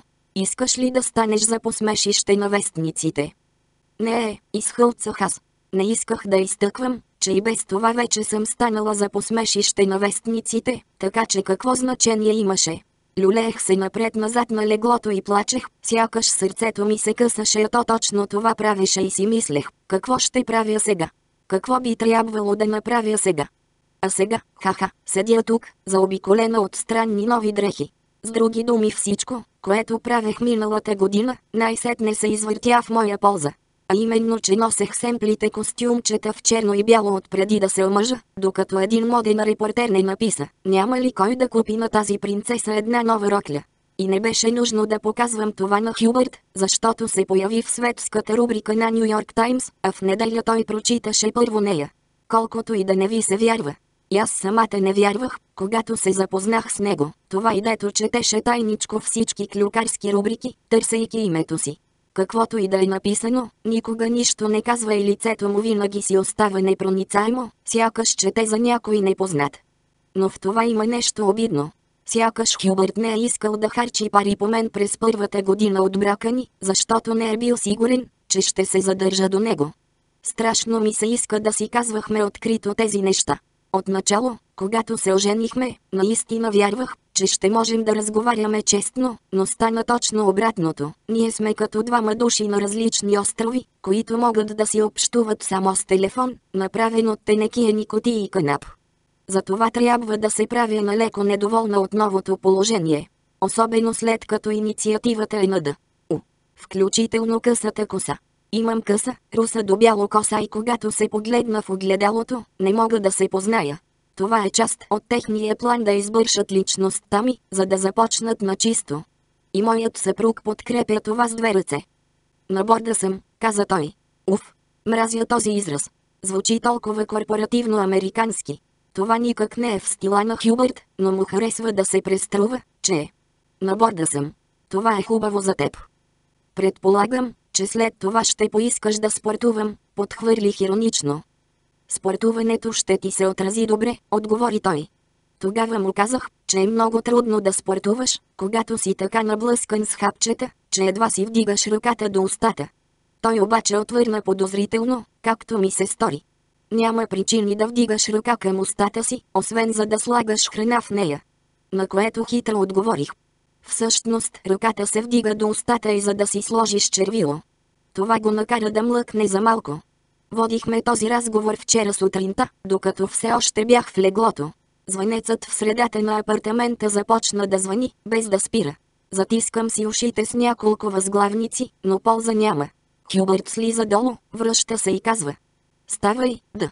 У, е тук и вместо да остане, за да ме утеши, пак слиза долу и прави още една каничка кафе, сякаш е най-обикновен човек всъщност. Той се гордее с това, за което никога не представям да подозирам, че си е чиста преструвка.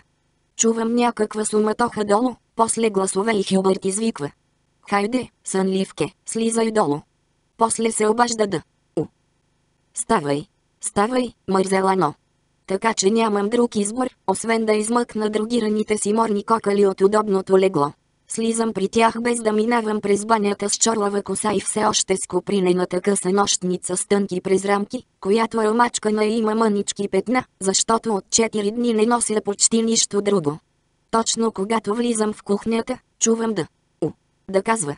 Уверявам те, Хюбърт, разхубавяваш се с всеки път, когато те виждам. Това едва не ме накарва да се върна обратно. За кого се мисли да? У, та ми се прави на Скарлет Охара от отнесени от вихъра.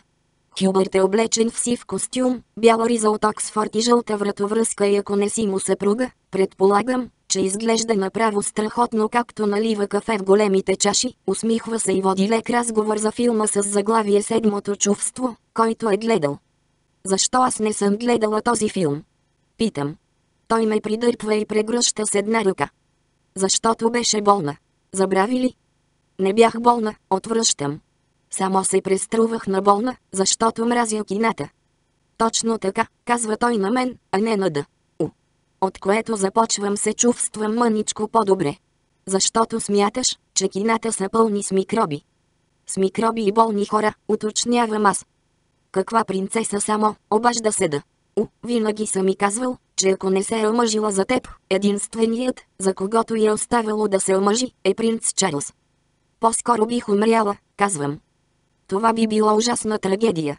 Не само за Хюбърт, но и за целия свят, казвам аз да. У. Бих искала да съм мъртва. Не смятам, че ще бъде чак толкова лошо, подхвърлям. Виждам как Хюбърт и да. У. Се споглеждат, Ай, продължавам, докато си наливам чаша кафе, макар кафето да е едно от 40 милиона неща на този свят, които ме карат да повръщам, ако не се бях омъжила за Хюбърт, щях да се омъжа за филмова звезда. После подавам кафето си на да. У. Опитай го. Защо? Пита той. Просто го опитай. Да. У. Поглежда Хюбърт. Кафе, казва той и ми го подава обратно. Благодаря ти, отвръщам и предпазливо отпивам една глътка. Просто исках да се уверя, че не е отровно. Горкият ми, горкият ми съпруг. Разкара европейското момиче и получи едно много по-лошо. Направо откачено. На което сега се опитва да не обръща внимание. Но нямаше да бъдеш щастлива, казва Хюбърт, като отново се споглежда с да. У, защото филмовата звезда нямаше да те обича колкото те обичам аз. Е, отвръщам, след като любовта ти към мен е равна на нула, какво значение щеше да има? О, стига, стига, намесва се да. У. Какво знаеш пък ти? Питам ненавистно.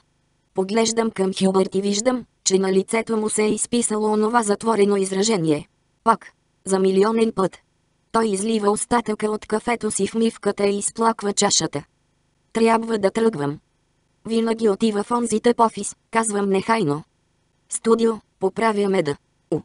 Когато един мъж е изпълнителен продуцент на хитово телевизионно предаване във водеща телевизия, той отива в студио. Хюбърт ме целува по челото. Чао, хлапе, казва той. Вие двамата се забавлявайте. Хвърлям унищожителен поглед на да. У. Не дай, казва той. Не казвай нищо глупаво. Особено като се има предвид, че този театър е абсолютно безсмислен. Горкият ми съпруг. Втурвам се в дневната и грабвам господин Смит, който доши около канапето. Хуквам към вратата, подминавайки кухнята, откъдето да. У. Ме зърва и кресва. Дръж този зайчар далече от мен. Слизам тичешком по стълбите, стиснала господин Смит, който няма абсолютно никаква представа какво става, и изхвърквам на Принц Стрит, където Хюбърт тък му се качва в лимузината казал е, предполагам, че не иска лимузина, но от телевизията са настояли. Почуквам на прозореца и Хюбърт сваля стъклото.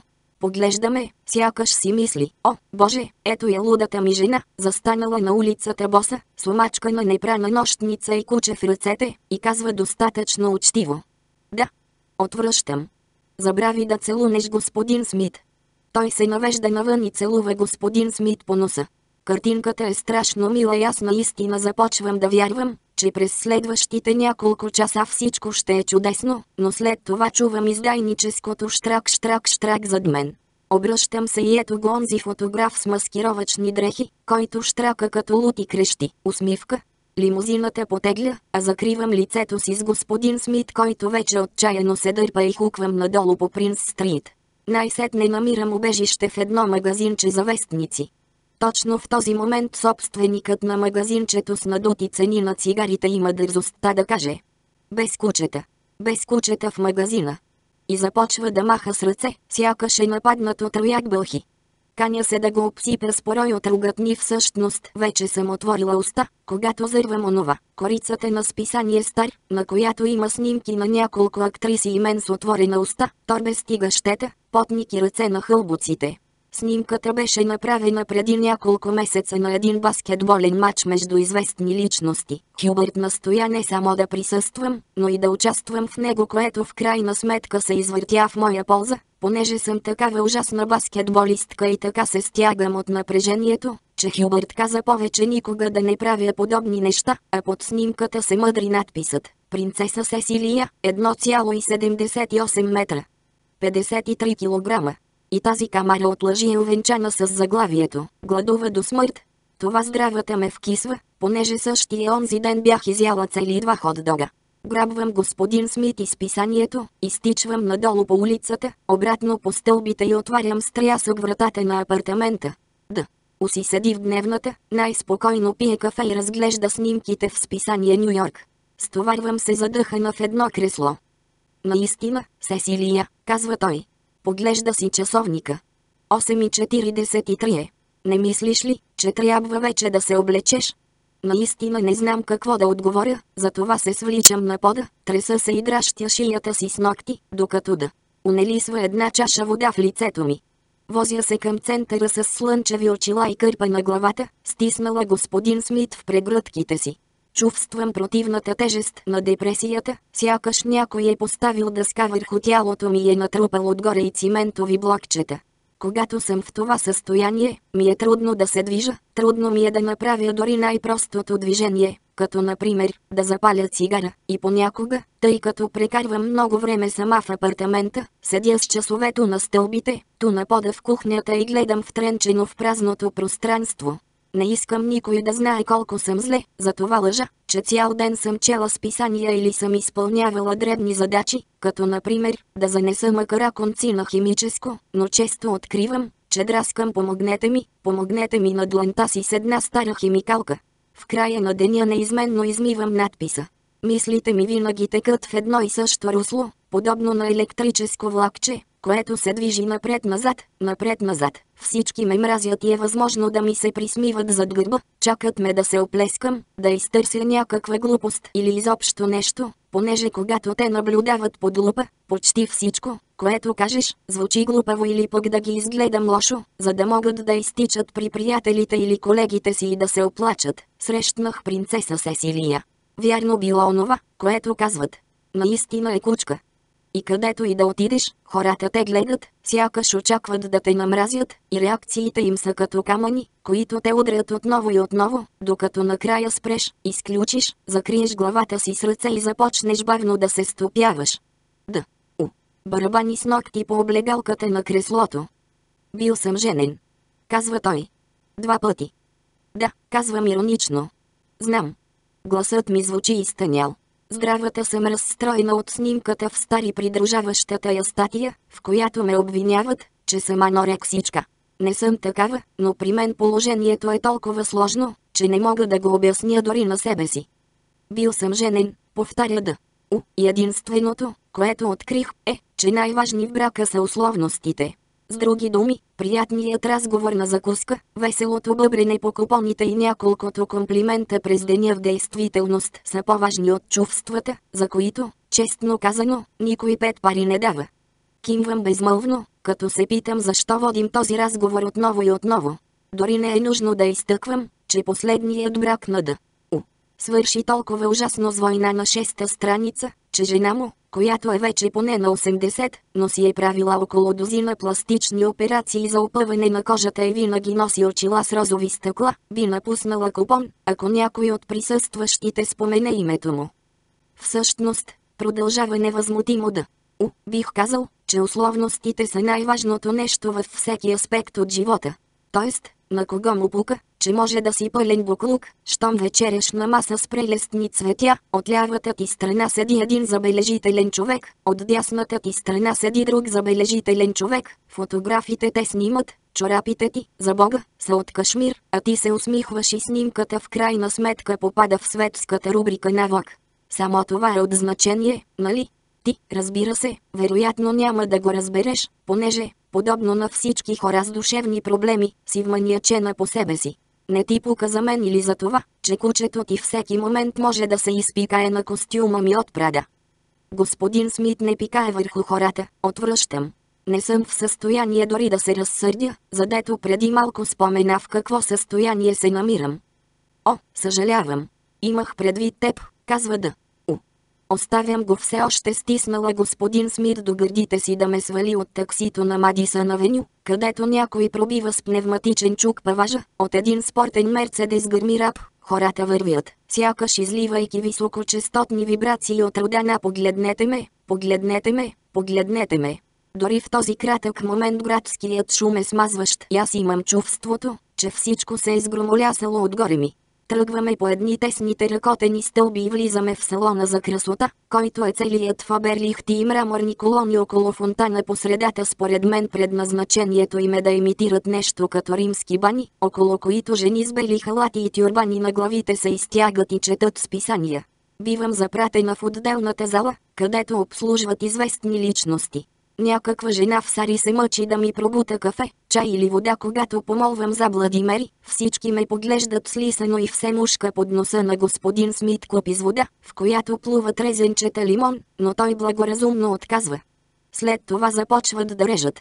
Отрязват дългата коса, която съм имала цял живот, а тя е моят живот. Дългата коса, мъжете я обожават и която е преминала през какви ли не оттенъци на руслото, в зависимост от това дали съм имала пари да платя на фризьор, трябвало е да го направя сама с сънин, или някой от моите приятели гейове се е съжалил над мен и е уредил да ме боядисат безплатно. Това ставаше лесно, след като клюкарските рубрики съобщиха, че ходя с принца на Люксенштайн. Да, се приближава до мен и казва. Толкова много хора се трудиха упорито, за да стигнеш до тук, Сесилия. И издухва дим през ноздрите си. Аз отговарям. И трябва да се чувствам виновна за това. Само благодарна, казва той и се отдалечава. И кълна се, че докато ми отрязват косата, постоянно чувам как хората си приказват за мен. Шепнат името ми. Докато накрая ми идва до гуша и кресвам. Бихте ли млъкнали, моля? Всички млъкват, освен един нещастник, който продължава да бръщолеви по клетъчния си телефон с писклив носов глас. Точно така, Дик. Тя е тук. Пълно преобразяване. И е абсолютно откачена. Не пуска онова куче. Не иска да говори с никого. Никога не съм виждал някой да излъчва такава лоша енергия. Може би трябва да опита с кристали. Накрая вдига поглед и в помещението се възцарява пълна тишина. Какво съм ти направила? Прошепвам дрезгаво. Поглеждам се в огледалото. Очите ми са сини и много разширени. Много разширени, защото знам, че моментът не е подходящ да се разплача, не и пред всичките тези хора ако могат изобщо да се нарекат така, които стърчат наоколо си списани на лицата най-различни емоции, от презрение до ужас и съжаление, напомняйки ми за първия път, когато 10 годишна трябваше да отида в онова училище в Масачузетс и се оказа, че съм по-висока от всички. Тогава ме заобиколиха на игрището отвън и започнаха да ме наричат. Госпожице. Сесилия, казва жената, която ме боядисва. Има дълго лице и големи зъби. Прилича на говорещ кон, но добродушен. Надявам се да не смятате, че това е отношението на нашия салон. Този служител е нов. Веднага ще го уволня. Мога да предизвикам нечие уволнение? О, казвам тихо и кимвам над главата на господин Смит.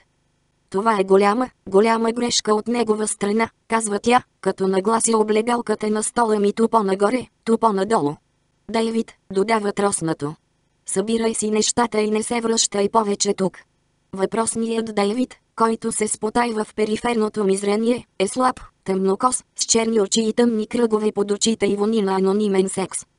Голяма работа, казва надменно той.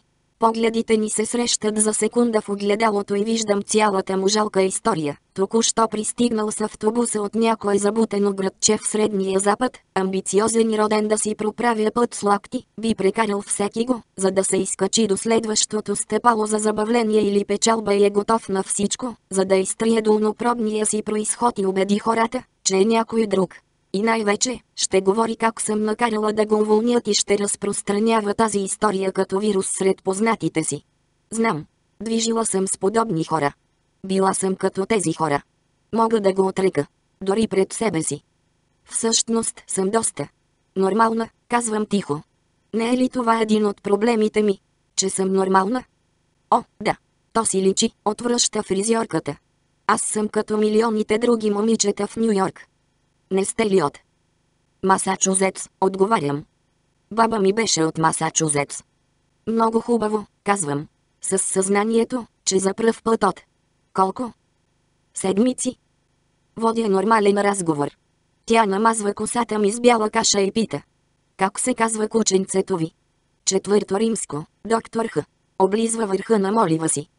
Мислите, казва той и поглежда в бележника си, че съпругът ви и този ваш приятел да У, са направили заговор срещу вас, за да ви принудят да станете.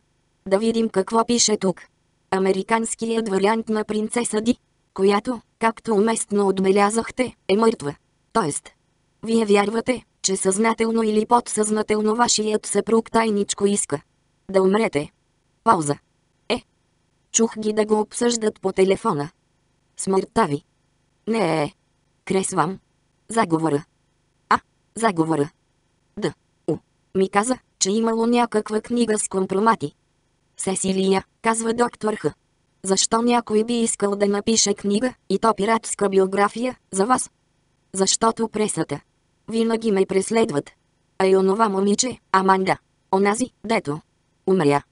Наричате жена, която според вас е била най-добрата ви приятелка, онова момиче, тогава вече не ми беше най-добрата приятелка. Онова момиче. Добре де. Онази жена. Пауза. Тази сутрин снимката ми беше по всички вестници. От снощи. На балета. Прошепвам. Това вие ли бяхте, Сесилия? Момичето с късата бяла коса, което слиза чешком по стълбите, поглежда през рамо, смее се, държи ръката на непознато момче. Да, да. Не видяхте ли името ми? Принцеса Сесилия. Разревавам се и закривам лицето си с хартиени салфетки. Отвън пред прозореца има фотографи. Доктор Х. Става и вдига штората. Отвън няма никой. Освен портиера и старата госпожа Блубърстейн с онова отвратително чихуахуа. Ма, може би портиерът ги е прогонил. Сесилия, казва доктор Х. Като се връща на стола си. Къде бяхте през август 1969 година? Знаете къде съм била. Къде бяхте? В язгоровата ферма, отговарям предизвикателно. И какво правехте там? Искаш ли да дойдеш в нашата рокендрол банда? Доктор Х. Тогава бях на три годинки. Майка ми ме завлече там. Никой не ми обръщаше внимание. Стоях насрана с часове. Майка ми постоянно се друсаше сел де. И всичко бе песни и празник. Не беше празник. Хипитата ме караха да танцувам. Загубих се. Майка ми беше друсена сел де. Доктор Х. Се превръща в госпожа Спикел, моята съветничка. Здравей, Сесилия. Майка ти е мъртва. Не е ли късмет, че се случи сега, а не когато си била малка? Чувам, че майка ти доста е вилняла. Разплаквам се. Плача истерично и имам чувството, че ще се разцепе на две. Събуждам се. Разбира се, майката на Хюбърт е мъртва, не моята. Загинала е в някаква откачена злополука по време на ски, когато Хюбърт е бил на 17. Горкият самотен принц, застанал на палубата на 7-метрови яси състезателен плътноход с едната ръка на руля, загледан в морето, тъжен и малко напрегнат като човек, който се тренира да сдържа сълзите си, спаднал на челото тъмен перчем. Той е мечтата на всяка тинейджерка, наранен, нуждаещ се от спасяване, принц, тинейджерски идол. Аз мога да го спася, мисля си, докато гледам черно-бялата снимка на корицата на списание Тайм. Седя на ефтината чамова масичка в дневната до зеленото, бабонесто полиестерно канапе в къщата в Лоуренсвил, Масачузетс, където майка ми реши да се установи с онзи продавач на риба. Мога да те спася, малки принце, мисля си, макар че той никак не е малък метър 88 и се намира на границата с зрелостта. Живее далече, в дома на онези богаташи в Карибите, и планира през есента да следва в Харвард. Гледам втренчено снимката и си фантазирам как той лежи с превързана глава в болницата, пострадал при някаква злополука, и казва, искам Сесилия. Трябва да ми доведете Сесилия.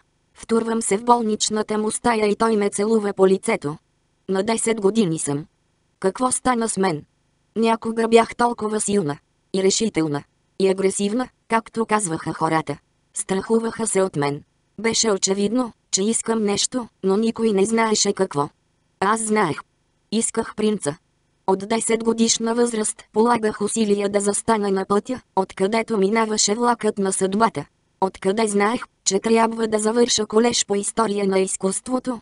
Просто знаех и че трябва да докопам работата в онази известна художествена галерия в Сохо, където можех да се срещам с богати и известни мъже и жени главно мъже, които биха взели под крилото си едно младо момиче с подходяща нагласа и чувство за хумор, за да го показват навсякъде из града, така че въпреки липсата на семейни пари или име снимката му да се появява по вестниците и списанията в репортажите за това или онова светско събитие, и откъде знаех, че онзи ден, когато Танер влезе в галерията, трябва да направя всичко по силите си, за да стана негова приятелка, така че когато истинският обект на желанията ми се появи, което знаех, че ще стане, предвид закона за следствието, а именно, че той живееше в Сохо и купуваше картини, да има достоен съперник и това да ме направи по-ценна в неговите очи.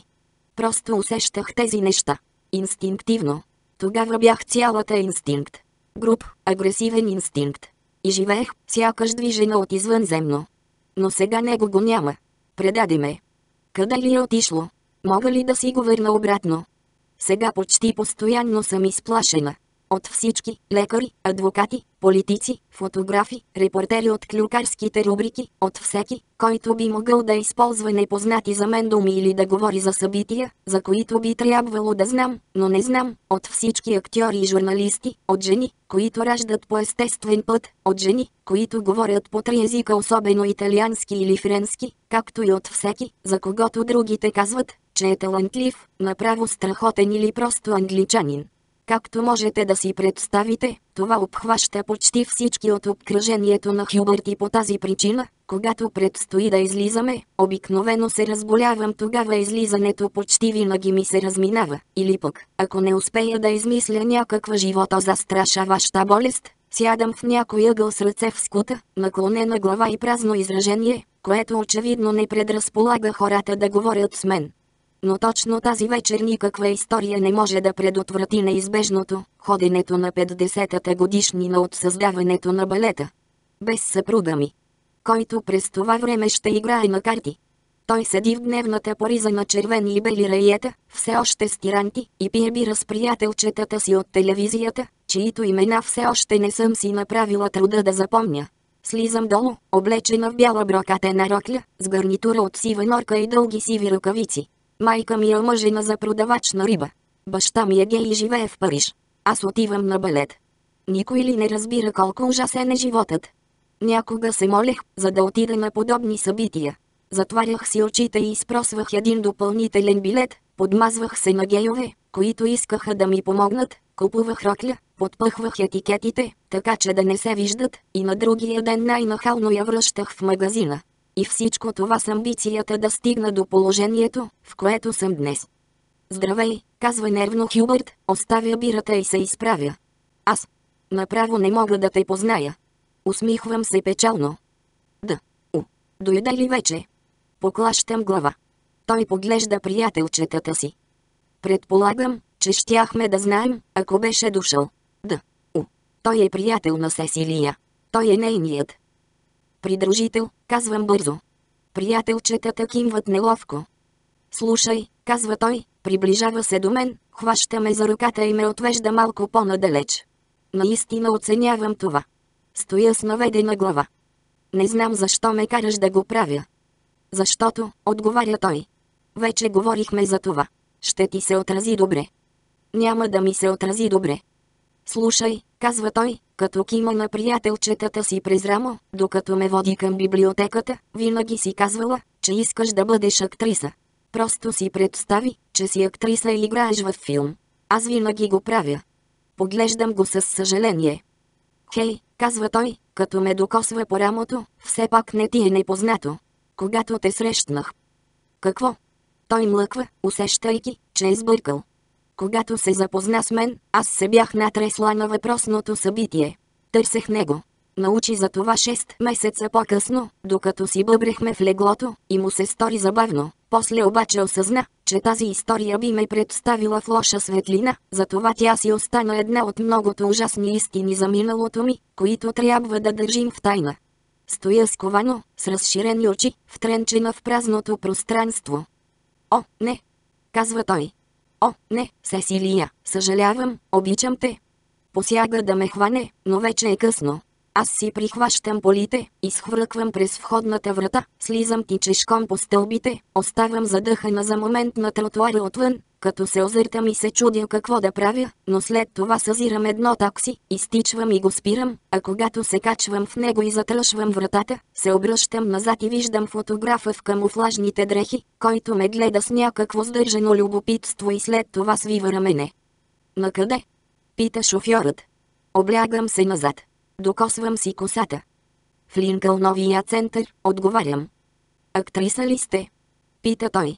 Отговарям положително и шофьорът ми позволява да пуша. Съзнателно не мисля за нищо друго, освен за токчетата си, които тракат енергично по площадчето пред Линкъл новия център. Позабързала съм се заради февруарския дъждец и тълпата от хора, които се събират при входа, смеят се, тропат с крака и изтръскват чадърите си.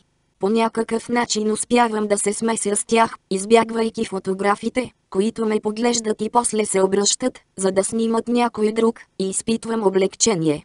После една жена, облечена в черно и с черни слушалки на главата, се приближава до мен и казва. Мога ли да ви помогна?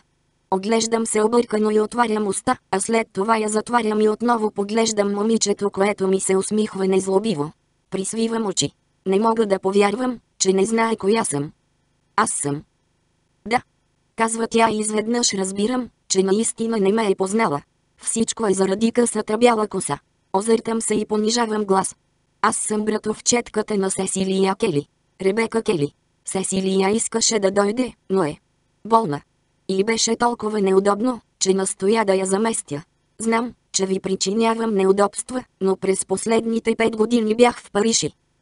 Не се притеснявайте, казва успокоително тя, посяга към масичката и взема една картичка, на която пише принцеса Сесилия Люксенштайн. Никой няма против хубавите жени, а ще седите на една маса с Невил Маус, който все ми досажда, досажда, досажда да го уредя с някоя добра партия, въпреки че е дошъл тук с онзи модел, Нанди. Е, надявам се, Сесилия да е по-добре. Тя ми подава картичката.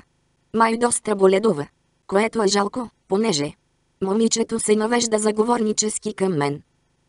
Тя е нещо като таен герой на нашия офис. Искам да кажа, шефът ми е такъв задник, но на Сесилия определено и личи, че смята всичко това за пълни глупости.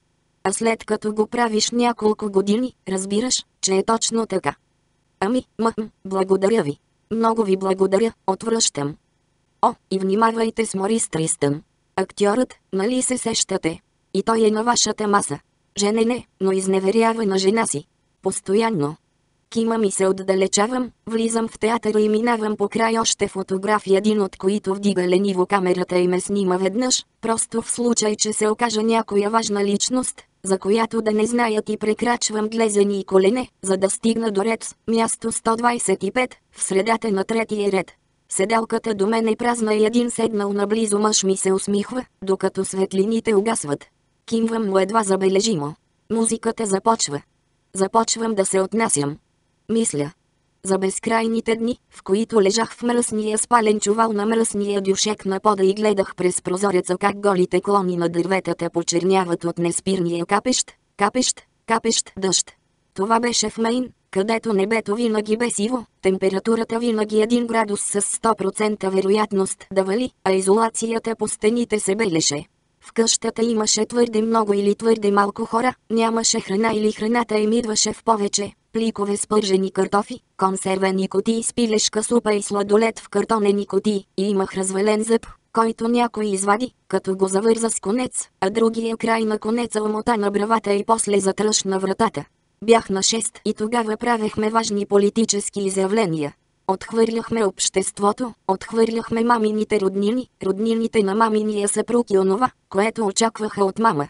Отхвърляхме фалшивите ценности и злините на капитализма, макар да не отказвахме дребните количества пари, когато ни паднеха и бягахме, бягахме, бягахме, но всъщност това, от което успявахме да избягаме, бяха чистото бельо, синята вода в туалетната чиния и портокалите сънкист през зимата.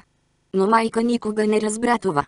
Дори след като се промени и отидохме да живеем в Лоуренсвил, където се опитвахме да се държим нормално. Балетът свършва. Аз продължавам да седя. Дълго след като публиката се е изправила, аплодирайки, шампанското е разлято, а облакът от балони се е спуснал върху тълпата, аз си оставам седнала в театъра. Ред, място 125. Тълпата се вълнува, после започва да уредява и накрая всички отиват да вечерят. Разпоредителите минават през залата и събират захвърлените програми. Добре ли сте, госпожице? Вечерята ще започне всеки момент. Омари, не бива да я пропускате. Благодаря, отговарям. Все пак оставам и си мисля за моята мръсна кукла Барби, цялата в петна, гола, с сплъстена коса, която носех навсякъде, и веднъж се разплаках, когато едно куче се опита да ми я вземе. Тя е малка принцеса, нали? Казаха тогава хората, докато ме изправяха с ръфаната ми пола на цветчета, аз се разревах още по-силно и сълзите нашариха лицето ми. Дори тогава не можех да повярвам, че никога няма да имам пони. Вдигам поглед и не се изненадвам, когато виждам красивото момче от мечтите ми да приближава между редиците. Накрая застава над мен, усмихва се и сяда. Спомените са просто версия на реалността, казва той. Вторачваме се в празната сцена. В мецанина на Линкълновия център сервират гъш и дроб с резенчета манго, а ние стоим на върха на стълбите. Може да си въобразявам, но като че ли хората попритихват и започват да обръщат глави. Момчето ме хваща за ръката, двамата тръгваме бавно надолу по стълбите и прекосяваме залата до моята маса. Фотографът Патри се клекнал до Невил Маус, австралийския медиен вундеркинд, който веднъж се опита да ме наеме, но после ме отхвърли, след като отказах да изляза с него. Докато дърпа стола, за да седна, момчето ми прошепва. Вашата маса не изглежда по-добра от моята. След това ми смигва точно когато Патрис шепне на Невил. Кое е това момиче? Невил, който е нервен и напрегнат, става тромаво и казва. Извинете ме, но мисля, че това място е запазено за принцеса Сесилия Люксенштайн. Така е, отвръщам спокойно и оправям през рамките на роклята си. Но се страхувам, че Сесилия няма да може да дойде. Болна е. Аз съм нейната братовчетка, Ребека Кели. Е, предполагам, че тогава всичко е наред, казва Невил. Опирам лакът на масата и се навеждам към него. Вие ли отговаряте за това събитие? Питам сдържано. Не. Защо питате? Просто. Комитетът работи толкова много, за да нареди. Правилно хората по масите. Разбирам, казвам аз. Значи не би било нечестно да приема, че най-силно ви занимава. Дали ще седнете на подходящата маса с подходящите хора? Невил се обръща за помощ към Патрис, който горитва под масата, примъква се към мен и сяда на стола, който внезапно осъзнавам, че е запазен за да. У.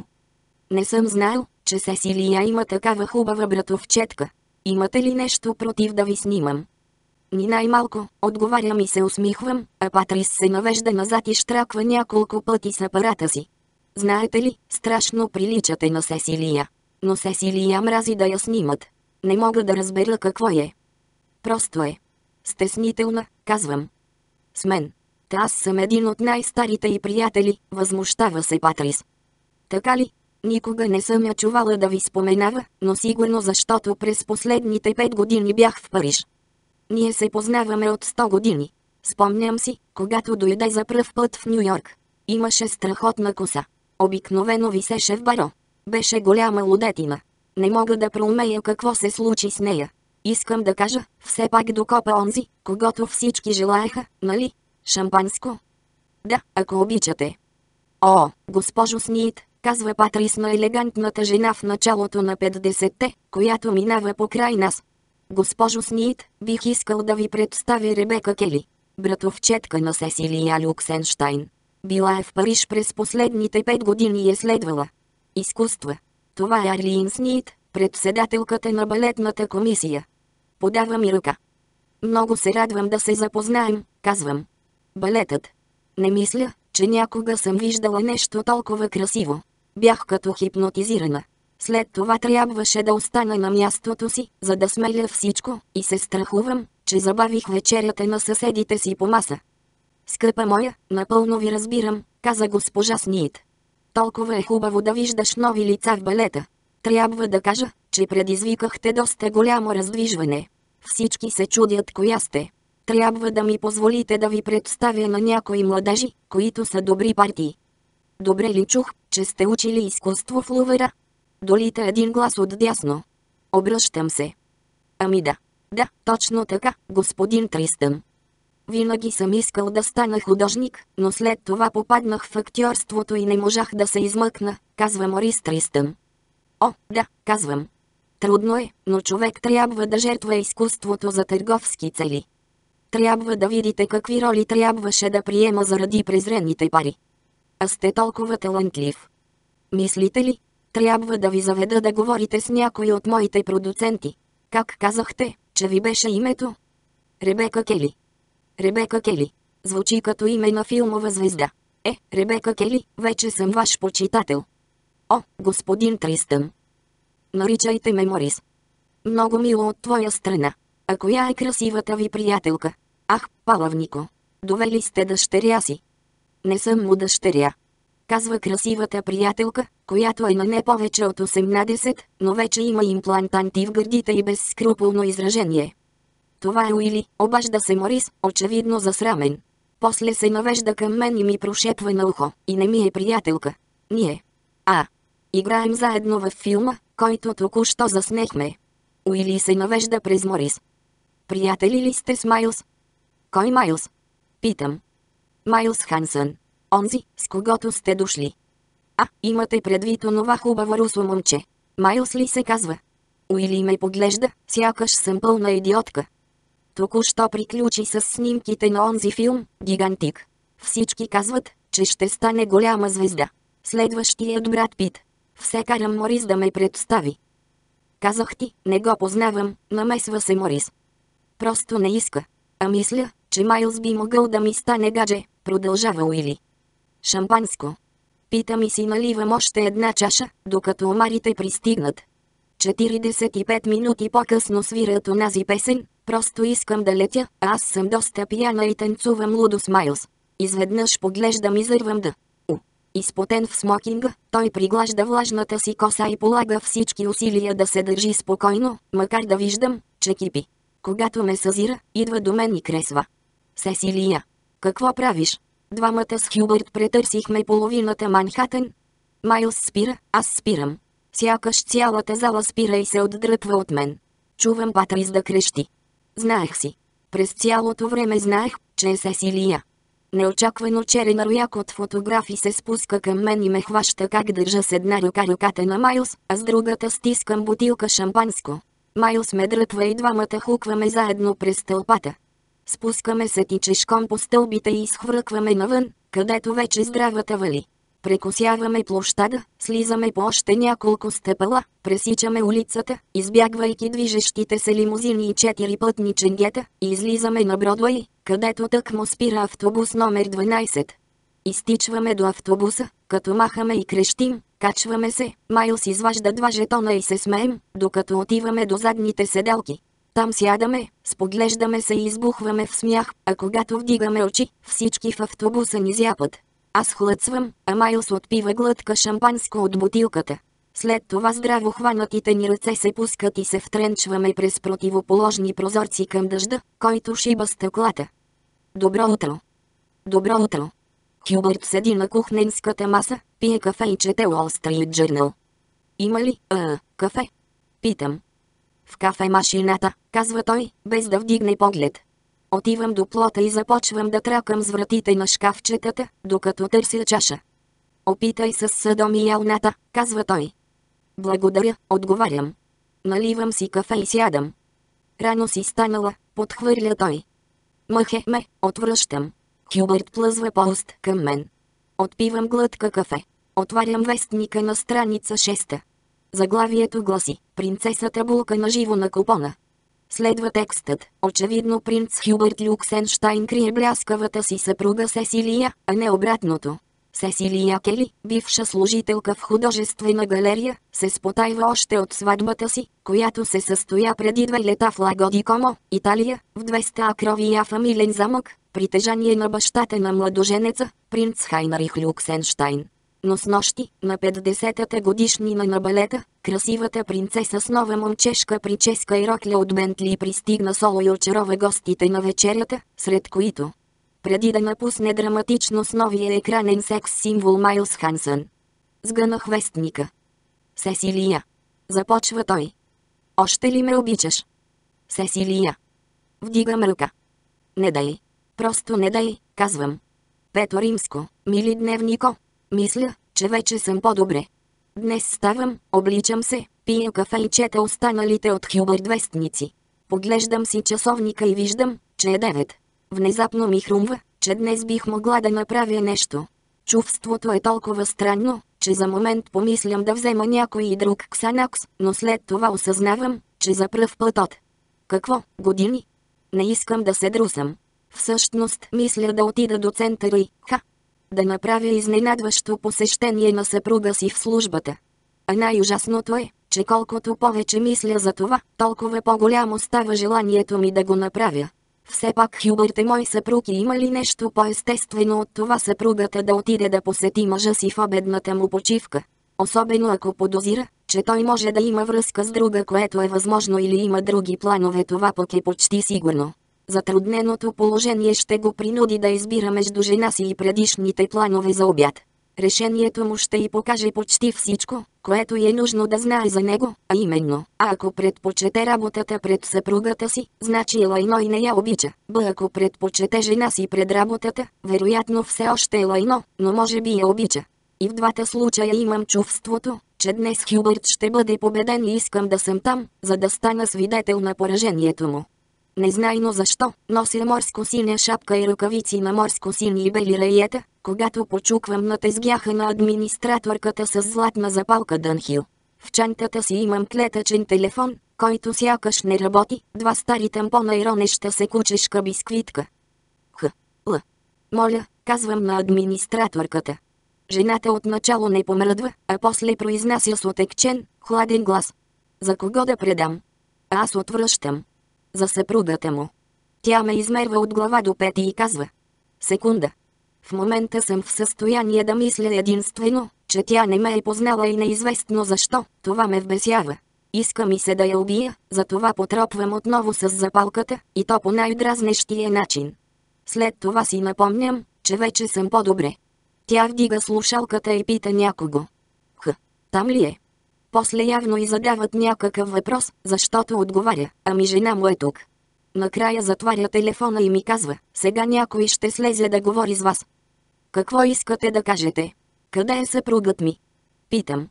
Не съм дошла тук да говоря с някого, а за да видя съпруга си. Той не е в кабинета си. Някой седи ли си изобщо в кабинета? Той знае ли, че ще дойдете? Разбира се, че знае, отвръщам, но с съзнанието, че нещата не отиват на добре. Ами той вероятно е на снимачната площадка. Даяна Мун ще участва в предаването днес. Трябва ли да ми пука за Даяна Мун? Администраторката ме поглежда, сякаш ме вижда за пръв път. Ноктите й са изкуствени и лакирани на червени, бели и сини раиета. Те като че ли са единственото забележително нещо в нея. На много хора. Им пука. За Даяна Мун. Свалям ръкавиците, като ги издърпвам пръст по пръст. Затова ли тя? Уби съпруга си? Администраторката се озърта нервно. Той почина от свръхдоза. Освен това Даяна Мун е. Героиня. Рейтингът ще скочи до небесата. Прозявам се шумно. Но какво толкова е направила? Питам с пълното съзнание, че това е много нагъл въпрос, понеже спокойно може да се каже, че аз нищо не съм направила, освен дето съм се омъжила за Хюбърт, вероятно една от най-добрите партии в света. Администраторката ме поглежда с едва сдържана ярост. Сега ще видя дали не мога да откриеха. Точно в този момент Констанс Диуол минава през сивата блиндирана врата, зад която се крие таинственият лабиринт от студия на Нетуърк. Сесилия, казва тя, като ми протяга ръка. Колко се радвам да те видя отново. За съжаление днес не е най-подходящият момент за изненадващо посещение. Даяна Мун е на снимачната площадка е. Е, тя просто е Даяна Мун. Аз съм принцеса Сесилия Кели Люксенштайн, казвам аз някак нехайно, но се свивам вътрешно при думата принцеса, защото зная, че именно тези неща отблъскват хората и ги карат да звънят на клюкарските рубрики. И бих искала да видя съпруга си. Спешно ли е, принцесо Люксенштайн? Пита Констанс крайно саркастично, за което по-късно ще я накарам да си плати, може би като поискам да я уволнят. Доколкото съм чувала, тя е една по-млада, по-мила и по-умна моя версия. Знам и че е лудо влюбена в съпруга ми както и всички онези тъпи харвардски възпитанички, откакто постъпи на работа при него като помощник-продуцент се опитва да го вкара в леглото си и искрено вярва, че би му било по-добре с нея, отколкото с мен. Трябва ли да има спешна ситуация, за да мога да видя съпруга си? Питам със същата доза сарказъм. Просто. Взели сме много охранителни мерки. За да опазите Слейтър Ландън от Даяна Мун, предполагам. Констанс и администраторката се споглеждат набързо. Администраторката свежда очи и се прави, че подрежда телефонните съобщения. Мога да те настаня в зелената стая, казва накрая Констанс. Но не мога да ти гарантирам нищо. Минути по-късно, пушейки нелегално в зелената стая, попоглеждам екрана, на който Даяна Мун с сатенена вечерна рокля едната през рамка е паднала небрежно от рамото и се навежда към Слейтър Ландън и абсолютно сериозно му казва. Никога не поглеждам назад. Имах късмети, тя поглежда право в камерата, всеки ден благодаря на Исус за това. След това се отпуска победоносно назад, кръстосва крака и прехвърля ръка за доблегалката на креслото, така че да се вижда цепката между гърдите й. Изкикотва се. Слейтър Ландън, полуангличанин, полуамериканец, бивш тинейджерски секс идол от екрана, чиято кариера приключи за кратко, след като го хванаха облечен в женски дрехи, се навежда над бюрото и казва. Даяна, да не си се побъркала по Исус, Лицето на Даяна Мун добива непроницаемо изражение и очевидно без да може да се стърпи, тя казва. Слейтър, розовите гащички с кадрички говорят ли ти нещо? Слейтър не е подготвен за такова нещо, но се прикрива, като прокарва пръсти през късата си руса коса и казва. Алиса не е ли носила такива в страната на чудесата, когато се е спуснала в заешката дупка? Дупка, подхвърля кокетно Даяна. Тази ли дума ти е любимата? Слейтър поглежда към камерата. Добре, хора. Времето изтече. Даяна, много ти благодаря, че участва в предаването и късмет с новия ти филм. Сетне се усмихва на камерата, но няколко секунди по-късно сваля рязко микрофона си и крещи. Надявам се, че ще можем да отрежем последното. Звукът затихва и техниците се появяват, следвани от Хюбърт. Даяна го прегръща и поглежда през рамо към Слейтър, после всички излизат и екранът угасва. Изведнъж усещам съжаление към съпруга си. Знае ли той, че го използват? Каква всъщност е неговата работа? Да оговаря срещите с гостите и да се грижи да не осъдят Слейтър за изнасилване на непълнолетни? Кой би си избрал да се занимава с такова нещо? Хюбърт. Европейски престолонаследник е не само страхотен красавец, но и съвсем обикновен човек, крещеше едно заглавие преди три години, когато Хюбърт за пръв път започна работа. На първия му работен ден беше сниман как си купува сандвич от кулинарния магазин на ъгъла, а когато излезе с кафявия плик в ръка, той махна на фотографите и им се усмихна. Първият ден на принца в училището на живота, пишеше на първа страница в Нью Йорк Пост и тогава това изобщо не ми се стори странно. Просто искам да върша нещо нормално. Като обикновен човек, казваше Хюбърт. И аз се съгласявах с него. Искам да можем да прекусим улицата и да си купим фунийка сладолед, казах тогава с нацупени устни, макар че мразя сладоледа, понеже от него се пълнее. А Хюбърт добави. Аз също, скъпа, аз също. Скръбно. Насърчих го да приеме работата. В шоу-бизнеса. Нима можеше да е трудно. Хюбърт вече се бе пробвал няколко пъти в банковото дело, но всеки негов опит, макар и странно, приключваше катастрофално. Не умееше да борави с цифри и всъщност оставяше щедри бакшиши, понеже не можеше да пресметне колко е 20% от сметката. Тогава тези неща не ми правеха впечатление. Но сега внезапно осъзнавам. Моят съпруг е чаровен, общителен и с чудесни обноски. Но е и малко. Тъп. Те го използват заради връзките му. Паля отвратено цигара и точно в този момент вратата на зелената стая се отваря онази проклетница Констанс вероятно ме е заключила вътре и Хюбърт влиза с Даяна Мун, която по някаква странна причина се втурва, прегръщаме като две годишно дете и едва не събаря цигарата от ръката ми.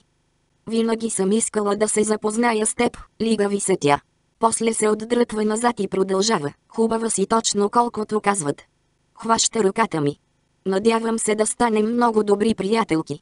Иска ми се да я мразя, но не мога, поне не веднага. Констанс ни каза, че си тук, казва неубедително Хюбърт, и Даяна настоя да се запознае с теб. Надявах се да си свободен за обяд, отговарям. Питам се дали така ми се струва, или наистина в забележката му за Даяна долавям лека враждебност. Хайде всички да обядваме заедно. В едно от заведенията за обядващи дами, казва Даяна. Днес се чувствам дама до мозъка на костите. Не мога, отвръща нехайно Хюбърт. Двамата с Боб обядваме заедно всяка сряда. О, така ли? Казвам. Разбира се, ти нямаше откъде да го знаеш, продължава Хюбърт. Ако ми се беше обадила, преди да дойдеш. О, кой е той Боб? Разкарай го, възкликва Даяна. Кажи му, че ще обядваш с мен. Сигурна съм, че Боб ще разбере. Ще разбере, но той е директорът на Network, отвръща Хюбърт. Все пак не искаш ли да обядваш с жена си? Пита Даяна с нещо, което прилича на искрено недоумение. Тя е толкова хубава. Ние почти не се виждаме, казвам с напълно неутрален тон, докато си слагам ръкавиците. Двамата с Норман прекарвахме всяка минута заедно, казва Даяна. Всяка минута. Не можехме да се наситим един на друг. Бяхме като омагьосани. Прекарвахме по цели дни в леглото. Тя изкривява лице. Липсва ми. Страшно ми липсва. Никой не разбира истински това. И се разплаква. Двамата с Хюбърт се споглеждаме стъписано. Хюбърт не прави нищо. Аз се покашлям учтиво в ръкавицата. Той беше най-голямата ми любов. Единствената ми любов. Не мисля, че някога ще мога пак да ходя с някого, казва Даяна, макар да е всеизвестен факт, че в момента не само ходи с някого един директор на филмово студио, но и според списание Стар живее с него или поне оставя всичките си неща в неговата къща. Очевидно тези сълзи са просто част от малкото и представление, защото в следващия момент тя сграбчва ръката ми и изтърсва. Е, поне вие можете да обядвате с мен. Не мога да остана сама точно сега. По лицето на Хюбърт се разлива облегчение. Защо не отидете в Киприяни? Нетуърк ще плати сметката, разбира се, добавя той. Сесилия, просто не забравяй да ми я донесеш, става ли? Аз само го зяпам ужасено и не мога да повярвам, че ми натриса тази жена, че се отнася с мен като с някаква служителка, за Бога. Ще накарам Констанс да уреди нещата, казва той. Точно в този момент Констанс влиза и очевидно за миг схваща ситуацията. Ще се обадя на Джузепе, казва тя и кимва на Хюбърт. Ще му кажа да ви очаква. Така няма да чакате. Аз никога не чакам. Никъде, подхвърля ми, удивена от нейното непокорство. Поглеждам към Хюбърт за потвърждение или поне за някаква подкрепа, но той само се усмихва неловко. Е, довиждане тогава, казвам студено. Ще се видим по-късно. У дома, отвръща той, сякаш го дразня или нещо подобно. Точно така. Ще се обадя, повтаря Констанс и поглежда към Хюбърт, но не се помръдва. Слейтър се държа като комедиант днес, нали? Казва тя, сякаш с Хюбърт са сами в стаята. И всичко заради онази проклета Моник. Ето какво се получава, когато ходиш с дете. Само че сега това е наш проблем. Точно тогава го докосва по ръката. И по-точно по бицепса. Права бях. Той наистина има връзка с Констанс.